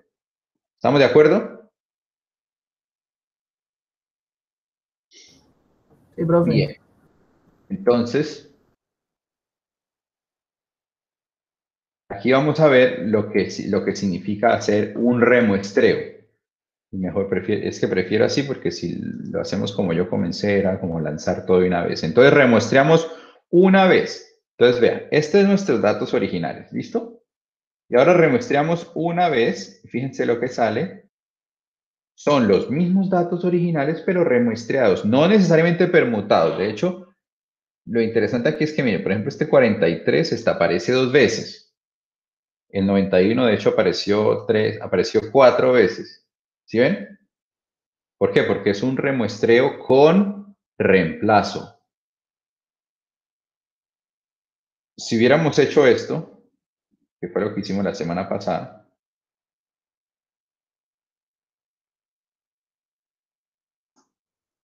Fíjense lo que da el Y-star. ¿Esto, qué se, ¿Esto cómo se llama? ¿Alguien sabe? Una permutación, profe. Esto es una permutación, exacto. Eso fue lo que hicimos la semana pasada. Entonces, fíjense que al ponerle false aquí, en inglés replace es reemplazar. Entonces, por eso en R, cuando usamos esta fórmula, le ponemos un replace. Si queremos hacer permutación, le ponemos false.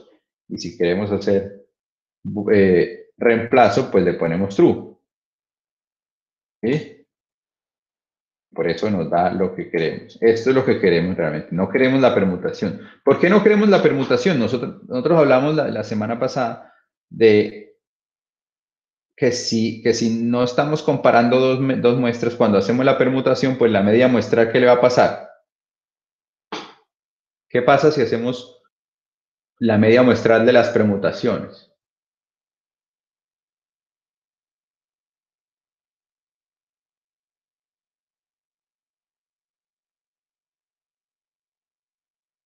Idea?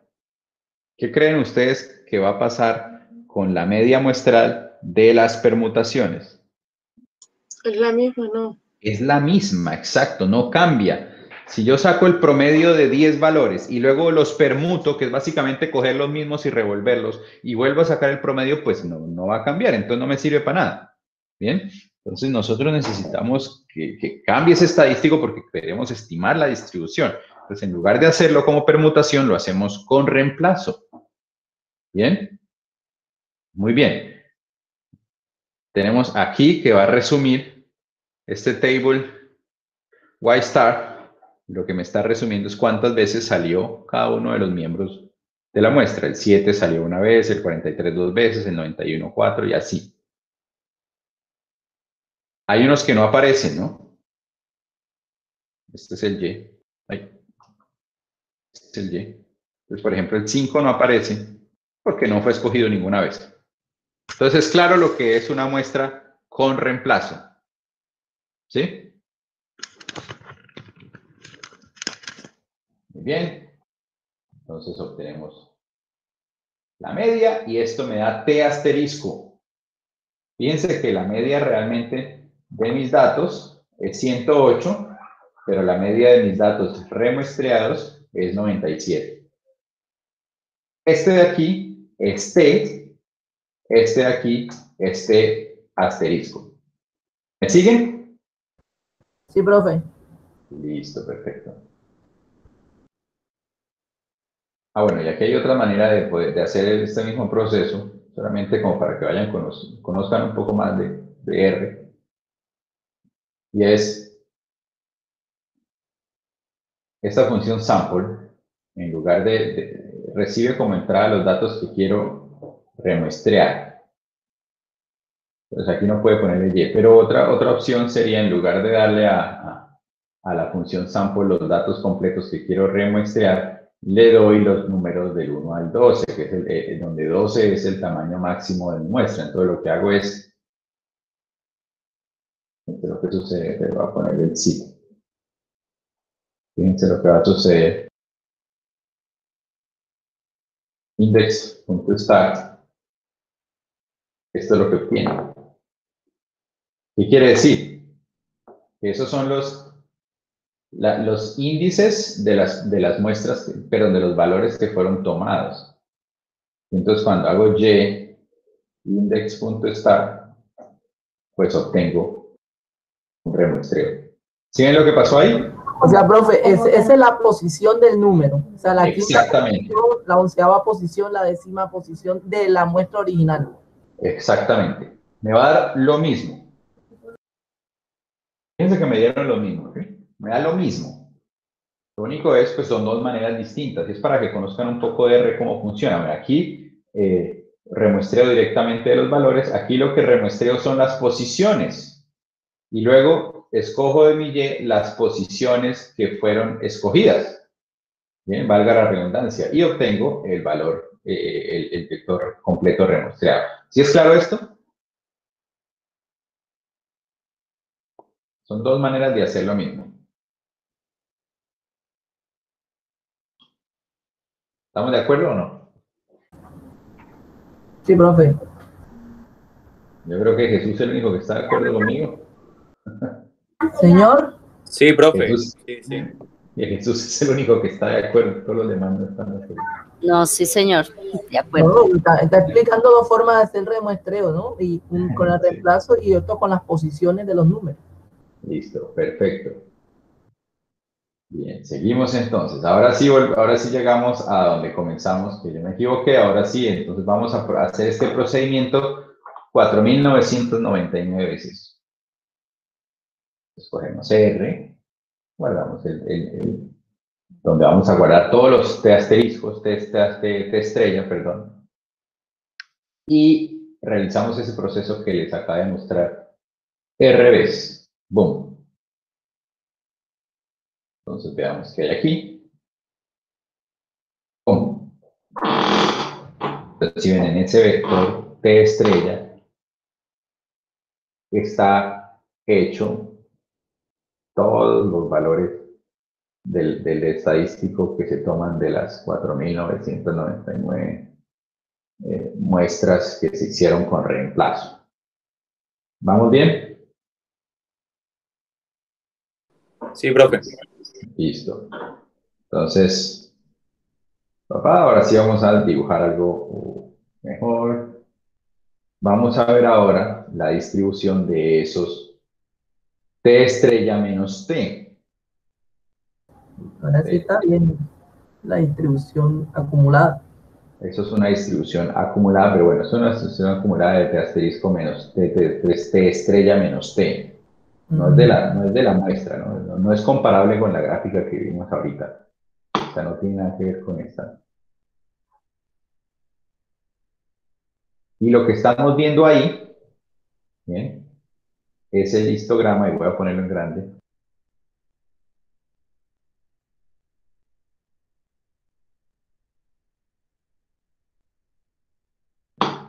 Lo que generó aquí es, el histograma de T asterisco menos T, donde T asterisco fue generado con un remuestreo con reemplazo. ¿Listo? Ahora, analicemos este histograma que se ve aquí. ¿Qué pasa si mis datos vienen de una distribución normal?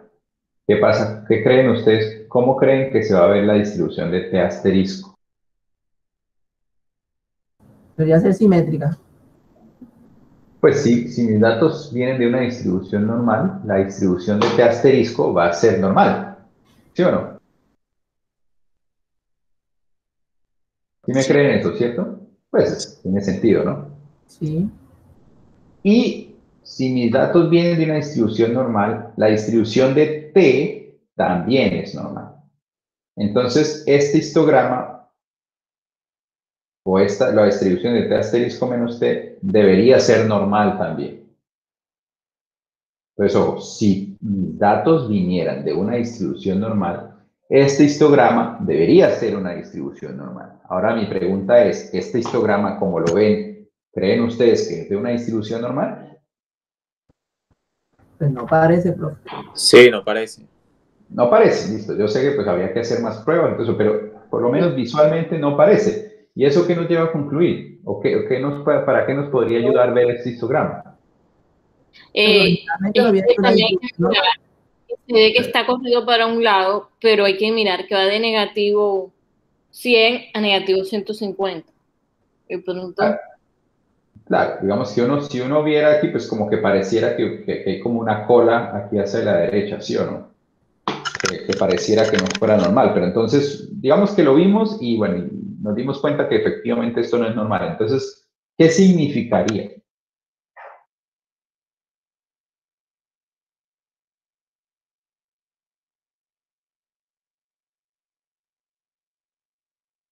¿Qué les ayudaría a ustedes a concluir al ver esta gráfica sabiendo de dónde vino?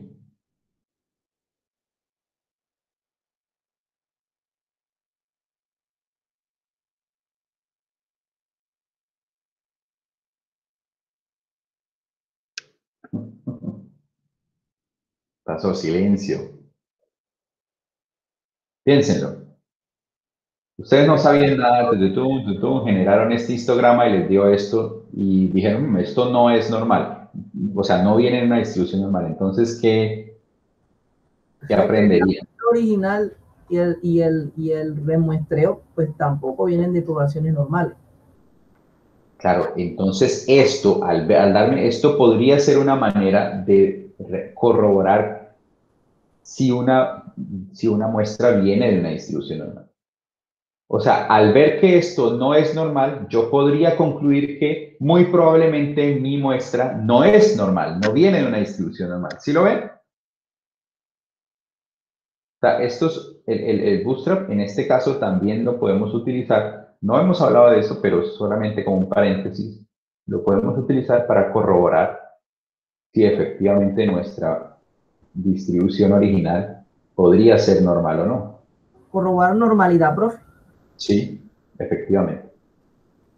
Si este histograma hubiera sido más normal, digamos, pues hubiera sido más probable que, valiera la pena pensar en que la original es normal.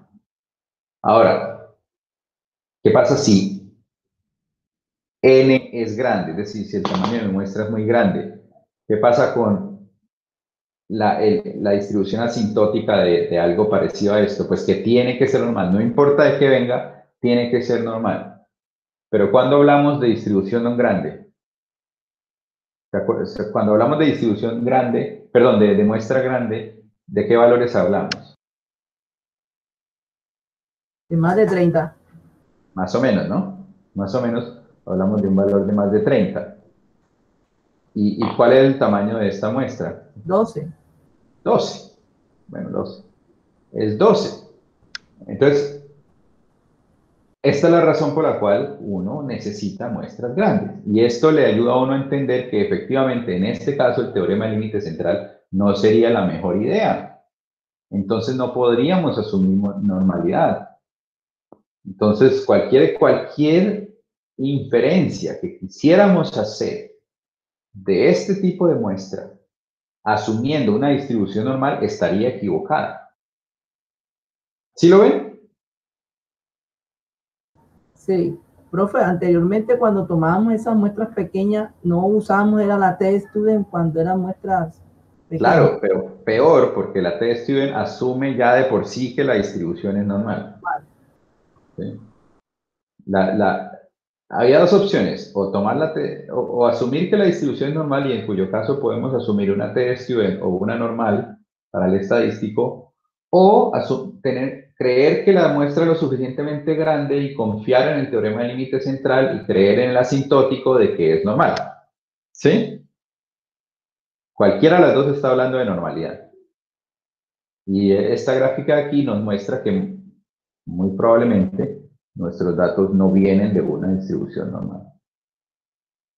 Ni, podríamos, ni podemos confiar en que la muestra es lo suficientemente grande para hacer inferencia utilizando la distribución normal. ¿Sí me explico lo que, sí, sí, sí entienden lo que estoy diciendo? Profe, entonces ahí el, el, el bootstrap no, no tiene entonces validez para, para determinar qué distribución tiene los datos, si estamos ya llegando a esta ambigüedad. No, precisamente en este caso se hace aún mucho más vital utilizar el Bootstrap, porque esto que estamos viendo aquí, esta sería la distribución del Bootstrap, la estimada por el Bootstrap. Ya. ¿sí? Precisamente por eso es que eh, entonces en este caso sería muy útil, es mucho más útil utilizar el Bootstrap que utilizar cualquier otra de las otras que, ya lo sabemos, que, hemos estudiado antes. Porque Bien. Sino que lo que les estoy tratando de decir es que, eh, como un paréntesis, que el bootstrap o la distribución generada por el bootstrap me puede ayudar a entender o a saber, o, es como una especie de prueba si mi, mi, población original es normal o no. A través de esto, o si, o no solamente eso, sino también tratar de probar si efectivamente valdría la pena confiar en el asintótico del teorema del límite central. Esta gráfica de aquí nos muestra que ninguna de las dos es válida, o sea que tenemos que utilizar, si queremos realmente sacar alguna conclusión, utilizar, es mejor en este caso utilizar el bootstrap que utilizar las otras opciones que uno tiene. ¿Sí? Entonces generamos nuestra, nuestra distribución basada en el bootstrap. ¿Y ahora qué hacemos? ¿Dónde estamos? Se me perdió. Y entonces, tenemos nuestro alfa del 0.025. Nos recordemos que estamos haciendo un alfa a la izquierda y a la derecha, ¿no? Para que sea el 5% general. Bien. Y entonces, tenemos nuestros puntos donde debería estar eh, la posición en la que deberían estar los dos puntos donde se crearía el intervalo. Ordenamos nuestros vectores, nuestros valores de t estrella y obtenemos esas, esas, estas posiciones. Y entonces tenemos que 46.67 y 194.25 son los límites de nuestro intervalo con el 95%. Que en otras palabras lo que hice ahí, de una manera complicada, es escoger los dos puntos, este de aquí y este de aquí, tal que todo lo que está por dentro es, es, igual al 95% de, de, de, mis, eh, de los valores de, estrella. profe, son los, los valores entre ordenados de menor a mayor, ¿verdad? O sea, la posición o el valor. Eh, el prim la primero que mostré fue la posición, lo siguiente fue el valor ya. Ya. Me pareció ver los dos positivos y no, no vi el negativo. Oiga, sí. ¿Listo qué pasó? Entonces veo los Ah, bueno. No, pues, no, eso está raro. No, hay algo, hay algo raro. Déjenme ver. Eh, sí, es raro.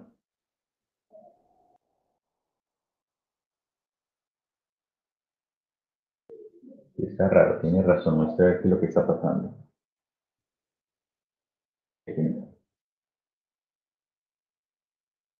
Yo que dibujé aquí entonces en el histograma. Ah, ok, ok, ok, ok. Sí, es que eh, el histograma es de T estrella menos T. ¿Sí? Y los valores que usé aquí fueron los de T estrella. estrella nada más. Los de T estrella nada más. No, no restó el, el parámetro. Entonces T estrella, si cogiéramos T estrella menos T, pues ahí estaría, estaría el ah, intervalo. ¿Listo?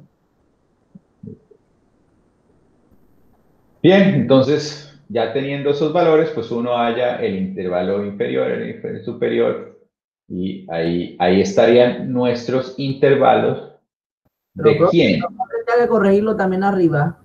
El short de T estrella menos T, no. No, da igual, da igual da igual. Da igual porque aquí yo estoy tomando 2T y fíjense, les voy a mostrar aquí por qué, por qué lo que...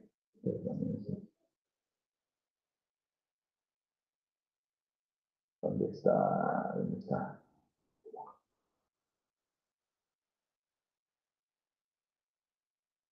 Aquí no está.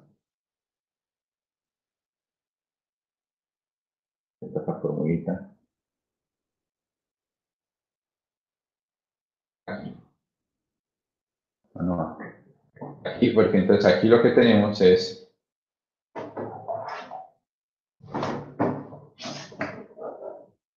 aquí lo que tenemos es lo siguiente, lo que vamos a tener es que eh, de estrella menos menos 1, 1 menos alfa medios dado f gorro es menor que T menor que T estrella menos T menos 1. Este sería el equivalente dentro de nuestro bootstrap, ¿no? Okay.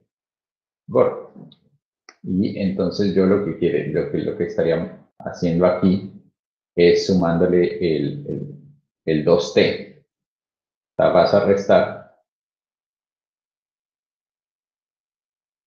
me perdí aquí un poquito en lo que estoy haciendo. Mm, ¿Cómo que funciona esto?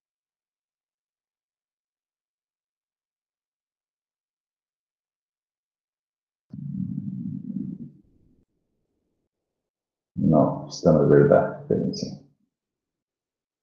Así lo tengo por aquí anotado en algún lado.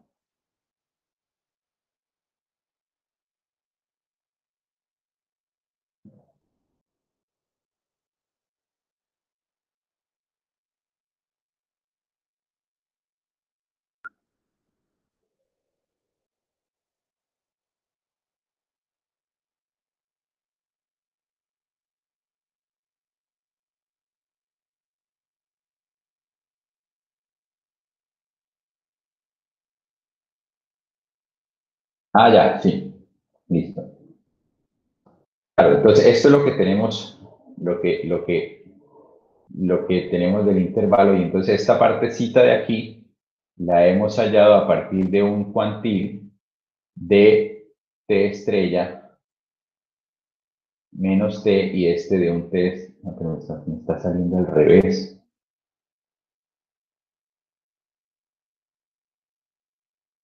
Bueno, Ahorita me pego, me, pego la trabada, pero la idea es que, la idea es que aquí debe aparecer un más y entonces aparece dos veces T estrella.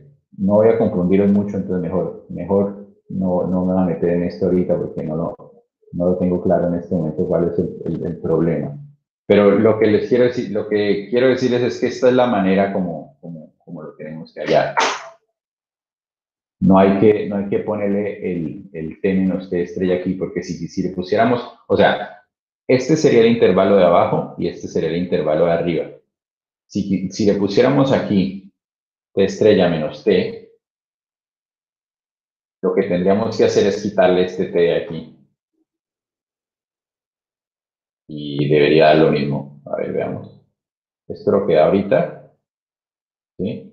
Entonces, si lo pongo así, ta, ta, ta, me tiene que dar lo mismo. ¿Sí? ¿Sí? ¿Sí queda contento con eso, Jesús? Sí, sí, porque por analogía de lo que veníamos trabajando arriba. Sí. Del T estrella menos T, que era el que se está manejando todo esto. Bien, profe. Perfecto. Entonces, así haríamos el bootstrap, ¿ok? Este sería como el algoritmo que haríamos para sacar el bootstrap. Ahora, uno puede hacer esto mismo con una librería CR que lo hace pues más rápido, porque tiene uno que programar menos. Y esa librería es la librería boot. Entonces, vamos a poner help boot Y ahí tenemos eh, nuestro bootstrap. Es una función que genera réplicas de bootstrap, pero tiene una, una, una manera específica de usarse. Entonces, para poder usar este boot, tenemos que primero crear una función que me calcule el estadístico, pero esa función no puede ser no puede ser creada de cualquier manera. Tiene que ser creada de la, de siguiente manera. Esta función debe recibir los datos y debe recibir un vector i que sea el ordenamiento, la manera como se muestrearon esos eh, datos. Entonces, por ejemplo, si yo quiero sacar la media de unos datos, mi función va a ser una función que reciba los datos, reciba los, la muestra que se obtuvo, como lo hicimos, como lo hacía el, el como lo hacíamos acá, ven, les digo como acá, miren. ¿Sí? Fíjense que cuando estábamos haciendo un remuestreo, podíamos remuestrear directamente los datos o podríamos muestrear las posiciones y luego sacar los, eh, la muestra remuestreada, valga la redundancia. Entonces, para la, para la función boot, tenemos que crear una función, ¿sí? Que me calcule la media y que reciba los datos y las posiciones para que luego escoja cuáles fueron los datos realmente que, que, se remuestrearon y me genere la muestra, el estadístico. Necesito que lo entiendan. ¿Entienden esto, por favor? Sumari. Sí, señor, sí. ¿Y ese ordenamiento dónde lo saca uno? por ahora no importa, eso lo va a hacer, lo va a hacer R eh, él mismo, pero por ahora necesitamos, necesitamos crear esta función. Esto es una función. Siempre que vayamos a utilizar la librería boot, tenemos que crear esta función. Una función así. No tiene que ser siempre la media, va a depender pues del estadístico que yo quiera, pero debe tener una estructura como esta. ¿Bien? Pueden cambiarle el nombre, obviamente, no tiene que ser el mismo nombre. Pero lo importante es que reciba dos valores de entrada. Una que sean los datos, otra que sea el ordenamiento. Y escogerlo y luego sacar el estadístico que yo necesite sacar. Podría ser otra cosa, puede que no sea la media, puede que sea algo muy sofisticado aquí, que, que sea más sofisticado pues que la media, ¿sí? No importa, lo importante es que la estructura sea de este estilo. ¿Estamos bien? Sí. Entonces, una vez hemos creado esta función en R, la creamos, entonces, bueno, probemos que funciona. ¿Sí? Entonces, ahí lo que está, eh, probamos que funciona y debería darme 108 porque si mis datos son exactamente la muestra que tengo, el ordenamiento es pues, del 1 al 12, que es esto, entonces debería darme efectivamente la media de mis datos sin ningún problema. Está. Ahora lo, pruebo con el ordenamiento que ya había hecho antes, entonces saco la, por eso cojo la misma semilla lo corro y debería darme lo mismo que la media de los datos reordenados de la vez pasada, 97.91. ¿sí? Y entonces ahora saco el bootstrap, y en el bootstrap, entonces ahora sí, utilizamos la función boot, metemos los datos que están en la variable y, la función boot tiene un parámetro que se llama statistic o el estadístico, pero la entrada de, ese, de esa función statistic, de este parámetro statistic es la función calc.t es decir, la función esa que me calcula la media. Y, bueno, otras cosas, ponemos la cantidad de, de, de bootstrap, después de, replicaciones que quiero, y esto lo podemos dejar. Este es el, valor por, defecto, entonces no, le paremos bolas a eso todavía. Lo corro, y esto es lo que obtenemos. Entonces, fíjense, al usar esto, todo esto de que está aquí, R lo que está haciendo es generando 4.999 replicaciones utilizando Bootstrap y calculando el estadístico de la media. Bien. Y miren el, resumen que me bota esto cuando, cuando lo imprimo. Bien, de hecho me dice, me dice que lo que hizo fue un bootstrap no paramétrico, sí, efectivamente era lo que queríamos. El original, es decir, el, estadístico original es 108, que es efectivamente el estadístico haciéndole nada. Y me bota aquí dos valores, me bota el sesgo y la desviación estándar. ¿De quién? De, las, de los estadísticos calculados en cada, en cada réplica. ¿Sí? ¿Me están siguiendo?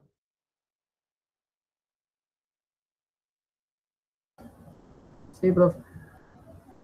Entonces veamos qué hay dentro de bootres, digamos, ese, esa nueva variable que, que, que se creó a partir de la función boot. Entonces va a tener Profe, yo tengo una pregunta ahí, pero no tiene, de pronto es con lo de R. Cuando uno coloca variables con puntos, él no está haciendo ningún tipo como de vectores ni nada, sino que simplemente se llama así boot.res, la variable. Ah, sí, sí. Es, es, es, cuando colocan punto es, es la misma, si no es como en Python. Ok, ok. Vale. Simplemente el nombre y ya. Sí, es el nombre, ok. Eh, entonces, cuando ponemos burres mm, dólar de cero, pues tenemos el estadístico calculado en nuestra muestra, el original. Y si ponemos burres dólar t, lo que, bueno, aquí muestra el head, quiere decir los primeros cinco valores, muestra los primeros cinco valores de nuestro t asterisco en las réplicas hechas por el Bootstrap. Realmente, este bootres $t, si lo imprimimos completo, lo que me va a mostrar es todas las replicaciones, todos los valores de nuestro estadístico en las réplicas generadas por el Bootstrap. ¿Sí? ¿Me siguen o no me siguen? Ah. Alguien que responda porque me siento solo. Sí, profe. O sea, ahí, está, ahí están todos los yo, yo, estoy súper acompañado de Jesús, pero ¿qué pasa con, con, con, con con María José, con Zulmari, con José, con Adriana? Aquí estamos, profe. Ahí está. María José. Aquí estamos, profesor. Ah, bueno, pero ya está un poquito más claro, vamos un poquito mejor o todavía están perdidas. Sí, yo sí, más claro, sí. María José. También. Ah, bueno, me alegro, me alegro. Ahí vamos, ahí vamos. Listo, perfecto. Excelente. Ahora, cuando hacemos bootres dólar statistic, oh, ¿qué hice? Ah, ya, sí, está bien. Cuando hacemos bootres dólar statistic, lo que, lo que nos va a botar es la función que se utilizó para calcular el estadístico. ¿Sí? Entonces, por eso cuando, cuando hago esto, miren, me bota justamente la función que, que, yo creé. Bueno, esto no nos interesa. Vamos a dibujarlo. Aquí hemos dibujado el, esto, lo, esto lo, lo, dibuja R por defecto cuando queremos dibujar, cuando ponemos plot y un objeto que se generó a partir de nuestra función boot. Entonces, esto es lo que uno, pues, lo que uno puede ver. Entonces, este es el histograma de todos los T asteriscos. Fíjense, parece mucho al histograma que habíamos generado nosotros manualmente, ¿cierto? Es muy parecido. Es, es muy parecido y debería ser eh, casi que el mismo. La única diferencia es que aquí, pues, eh, digamos, como la, la discretización del histograma, pues es distinta, pero fíjense que tiene la misma forma, ¿no? Empieza aquí subiendo, y tiene la colita. ¿Sí? Y este es el cuckoo comparado con una distribución normal. Entonces esto volvemos a lo mismo que habíamos hablado antes, de que nos ayuda a, corroborar de alguna manera si nuestros datos son normales o no. Aquí claramente no son normales, porque si lo fueran, este cuckoo debería ser una línea recta o algo parecido. ¿Sí me entienden? Claro, profe. Esto fue lo que tuvimos. Listo.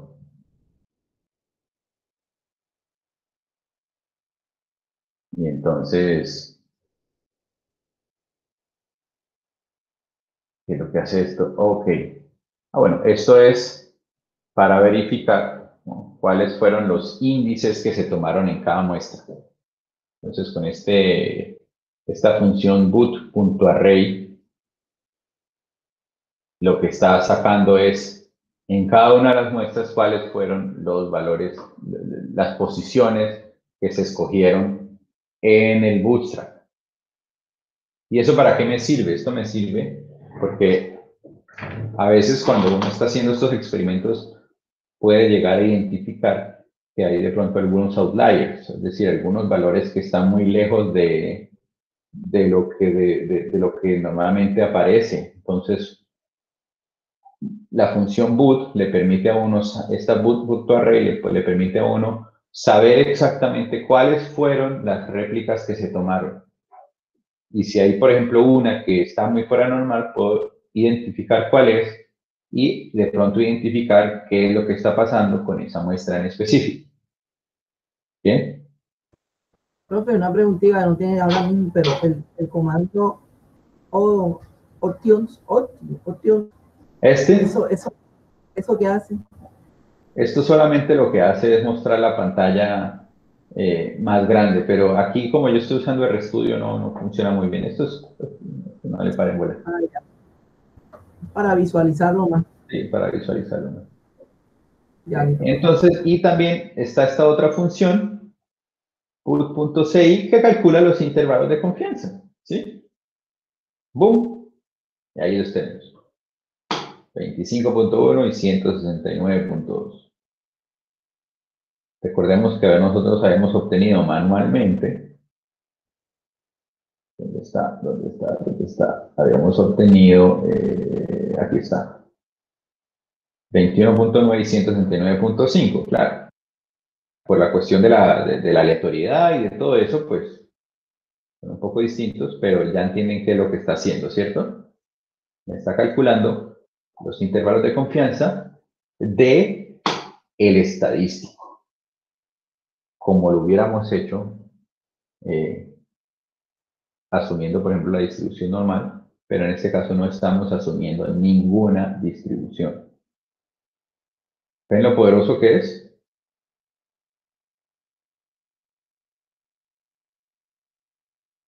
Preguntas.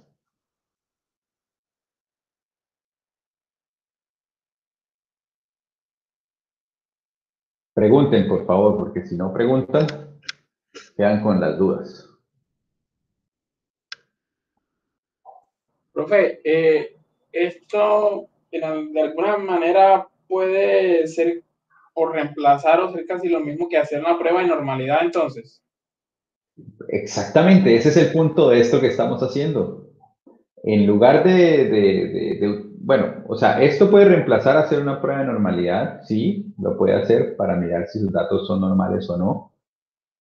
Pero aparte de todo, se puede aplicar independiente de que sea normal o no. Porque podemos encontrar los intervalos de confianza sin importar de que nuestros datos originales vengan de una distribución normal o no. ¿Sí? O sea, sí, sí, sí, sí es consciente del poder que tiene esto.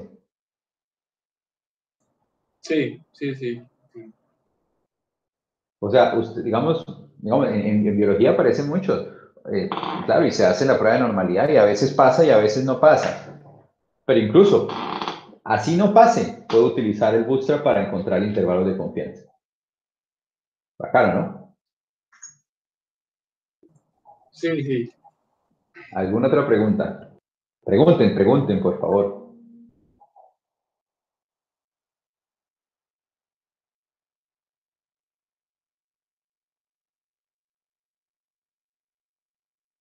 Entonces, fíjense que esto tiene una relación con las pruebas de permutación, ¿no? Se parece mucho. En la prueba de permutación generamos la distribución bajo la hipótesis nula a partir de permutaciones. Aquí estamos generando la distribución a partir de muestreos, remuestreos con repeticiones. No estamos asumiendo ninguna distribución. Parece magia, mm, pero realmente pues es algo que teóricamente funciona y que, muchas personas eh, actualmente, o, eh, se está implementando en muchas aplicaciones actualmente, eh, Bootstrap. digamos que lo clásico es asumir la normalidad, asumir la TSU, etcétera, pero se ha demostrado que efectivamente el Bootstrap está dando unos buenos intervalos de confianza, unas buenas pruebas de hipótesis y todo eso. Igual, pues hasta el momento hemos visto una versión, o estamos viendo una versión muy preliminar de lo que es el Bootstrap. Pero yo quisiera pues que, que, que vieran lo poderoso que es para llegar a estimar intervalos de confianza en este caso, que de otra manera hubieran dado equivocados. Porque no tenemos que asumir ninguna normalidad. Incluso nos permite ayudar a eh, estimar intervalos de confianza eh, para muestras pequeñas también, o para variables de las que no conocemos la distribución, o para estadísticos de los que no conocemos la distribución, que ese es otro cuento. ¿Cómo hallamos nosotros intervalos de confianza de estadísticos Independiente de qué distribución tenga la, muestra, la, población, ¿cómo hallamos el intervalo de confianza estadístico de los que no conocemos la distribución? Por ejemplo, un estadístico muy loco, muy, muy extraño. Le voy a mostrar aquí un... Ya que, ya que, ya que hablamos de, estadísticos raros.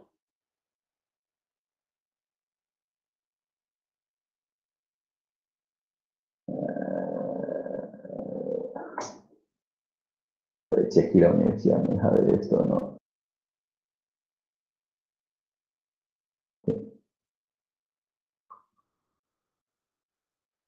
Es para que vean un poquito a qué me refiero con un estadístico raro.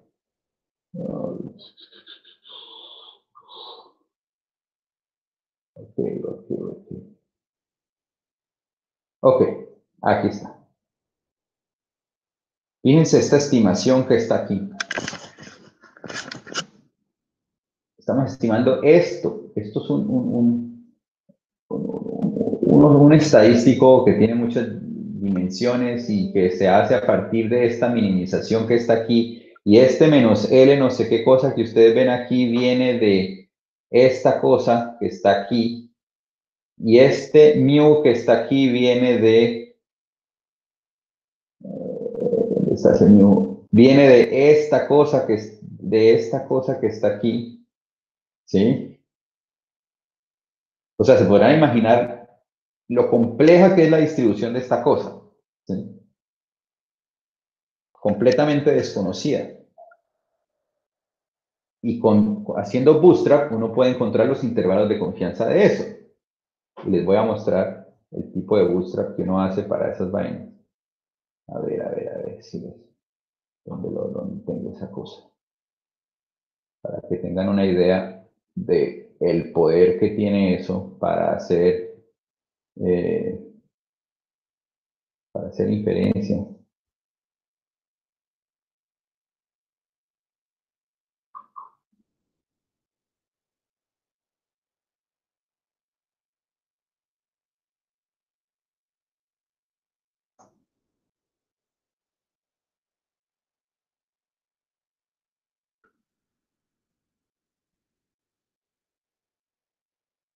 No necesitan realmente entender mucho sobre lo que está pasando aquí. Pero el, estimador que les mostré ahorita en el paper está sacando una estimación de unas cosas que vienen de unas imágenes. Y si uno no sabe la distribución de eso, uno lo puede hacer a partir del bootstrap. Y por ejemplo, en este caso lo que teníamos eran unas imágenes, unas imágenes de este estilo. Entonces, ¿cómo hacíamos el bootstrap? Entonces, lo que hacíamos era seleccionábamos, segmentábamos imágenes de 2x2. Esto es un ejemplo. Pero realmente segmentábamos en imágenes un poquito más grandes. Pero aquí era de 2x2. Y en cada uno de estos cuadritos de 2x2 hacíamos un mini bootstrap. Es decir, un muestreo con reemplazo y obteníamos nuevas imágenes. ¿sí? Y a partir de esas nuevas imágenes calculábamos la estimación y repetíamos ese proceso muchísimas veces y obteníamos intervalos de confianza. Y ahí está. Y fíjense, es así de simple. Para hallar el intervalo de confianza de ese bicho raro que les mostré acá. Que era una cosa, pues, verdad, pues, no, es algo que uno pueda fácilmente encontrar la distribución de una cosa como esta. Pero así de sencillo es y así de poderoso es, es el bootstrap. Y actualmente se está utilizando muchas, muchas cosas. Y ahora llegamos con toda la, la, llegada del Machine Learning, del Deep Learning y de todo eso, cómo se sacan intervalos de confianza de cosas que ni siquiera se entienden. Pues a partir de remuestreos, a partir del bootstrap. ¿bien? Entonces yo creo que, eh, ¿tienen alguna pregunta? Profe, quería que nos hablara más sobre esa presentación que, que mostró ahí de qué datos son ah, o qué caso. Bueno, eso es un, eh, bueno, ahí rápidamente. Es una bueno, lo que pasa es que esto es parte de, lo que fue mi tesis de doctorado, era estimar la emisividad de, unos, de unas imágenes tomadas por un telescopio de la Estación Europea eh, European Space Agency, la estación, la Agencia Europea Espacial, como la NASA, pero de Europa. Y, la idea era estimar la densidad de un, de un clúster de galaxias, y bueno, es un poco sofisticado. Algún día, si quieren, si quieren algún día les, les, hago la presentación, pero yo creo que creo que podemos, podemos dejarla para después.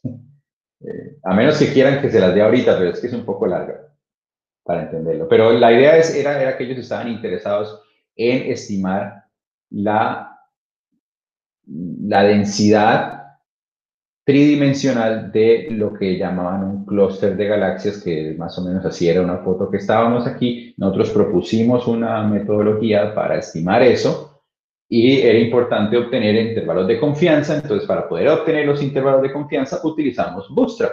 ¿Bien? Y pudimos hacerlo. ¿Preguntas? Profe, en el caso entonces ya de querer hacer pruebas de hipótesis, ¿cómo se, se utiliza? Pues fíjese que al final eh, es una buena pregunta, eh, es lo mismo, porque usted puede generar la, la digamos así, la distribución y lo que obtiene es, como, así, como hace con la prueba de hipótesis normal, obtiene el umbral o el p-valor y a partir de esta histograma que está aquí, a partir de ese histograma, pues construye su prueba de hipótesis. Pero bueno, eso lo veremos más adelante. No, no es tan trivial, pero, pero la idea es la misma. ¿Sí?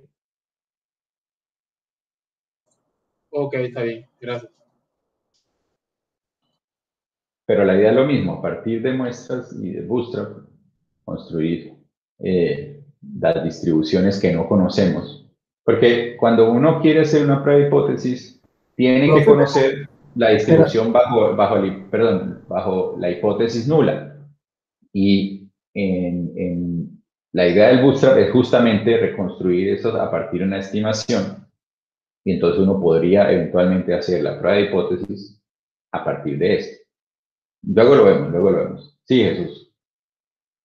No, profe, era eso, que eh, iba a ser bastante complejo porque como esta distribución no se conoce, para buscar el, estadístico de, de, de, dentro de esa distribución debe ser complejo el, procedimiento.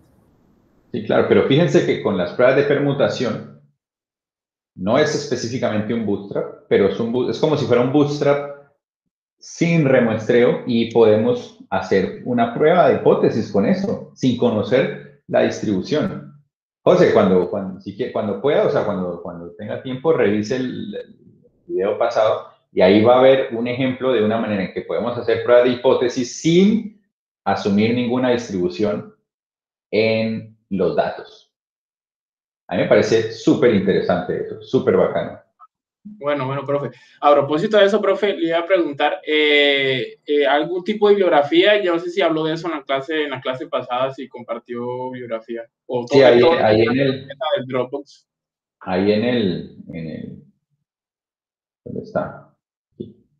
Ahí en el, en el, en las diapositivas que están en el Dropbox está como como algún tipo de bibliografía. La bibliografía puede llegar a ser un poco difícil de, comprender, pero, pero bueno, esa es la que hay. ¿Listo? Ok. Ah, bueno, gracias. Bueno, yo creo que voy a dejar de grabar. Bueno, igual, si a alguien le interesa, si realmente les interesa saber un poco sobre lo que hice en el doctorado, pues pueden leer el paper o algo, algún día de pronto hacemos un coloquio o algo y lo explicamos un poquito mejor. Entonces sería interesante. Eh, comparte de pronto Karen también podría, podría hablar de lo que ella hace y eso. Ustedes no saben lo que nosotros hacemos en investigación, ¿cierto? No, profe. No, Sería chévere hacer un, coloquio de estadística o algo así, ¿no? Y yo creo que la, la, la, directora habló de eso como para que nosotros fuéramos orientándonos hacia las, las electivas. Claro. A ver, ¿dónde está? ¿Dónde está? ¿Dónde está? Se me perdió. Aquí está listo a pararlo.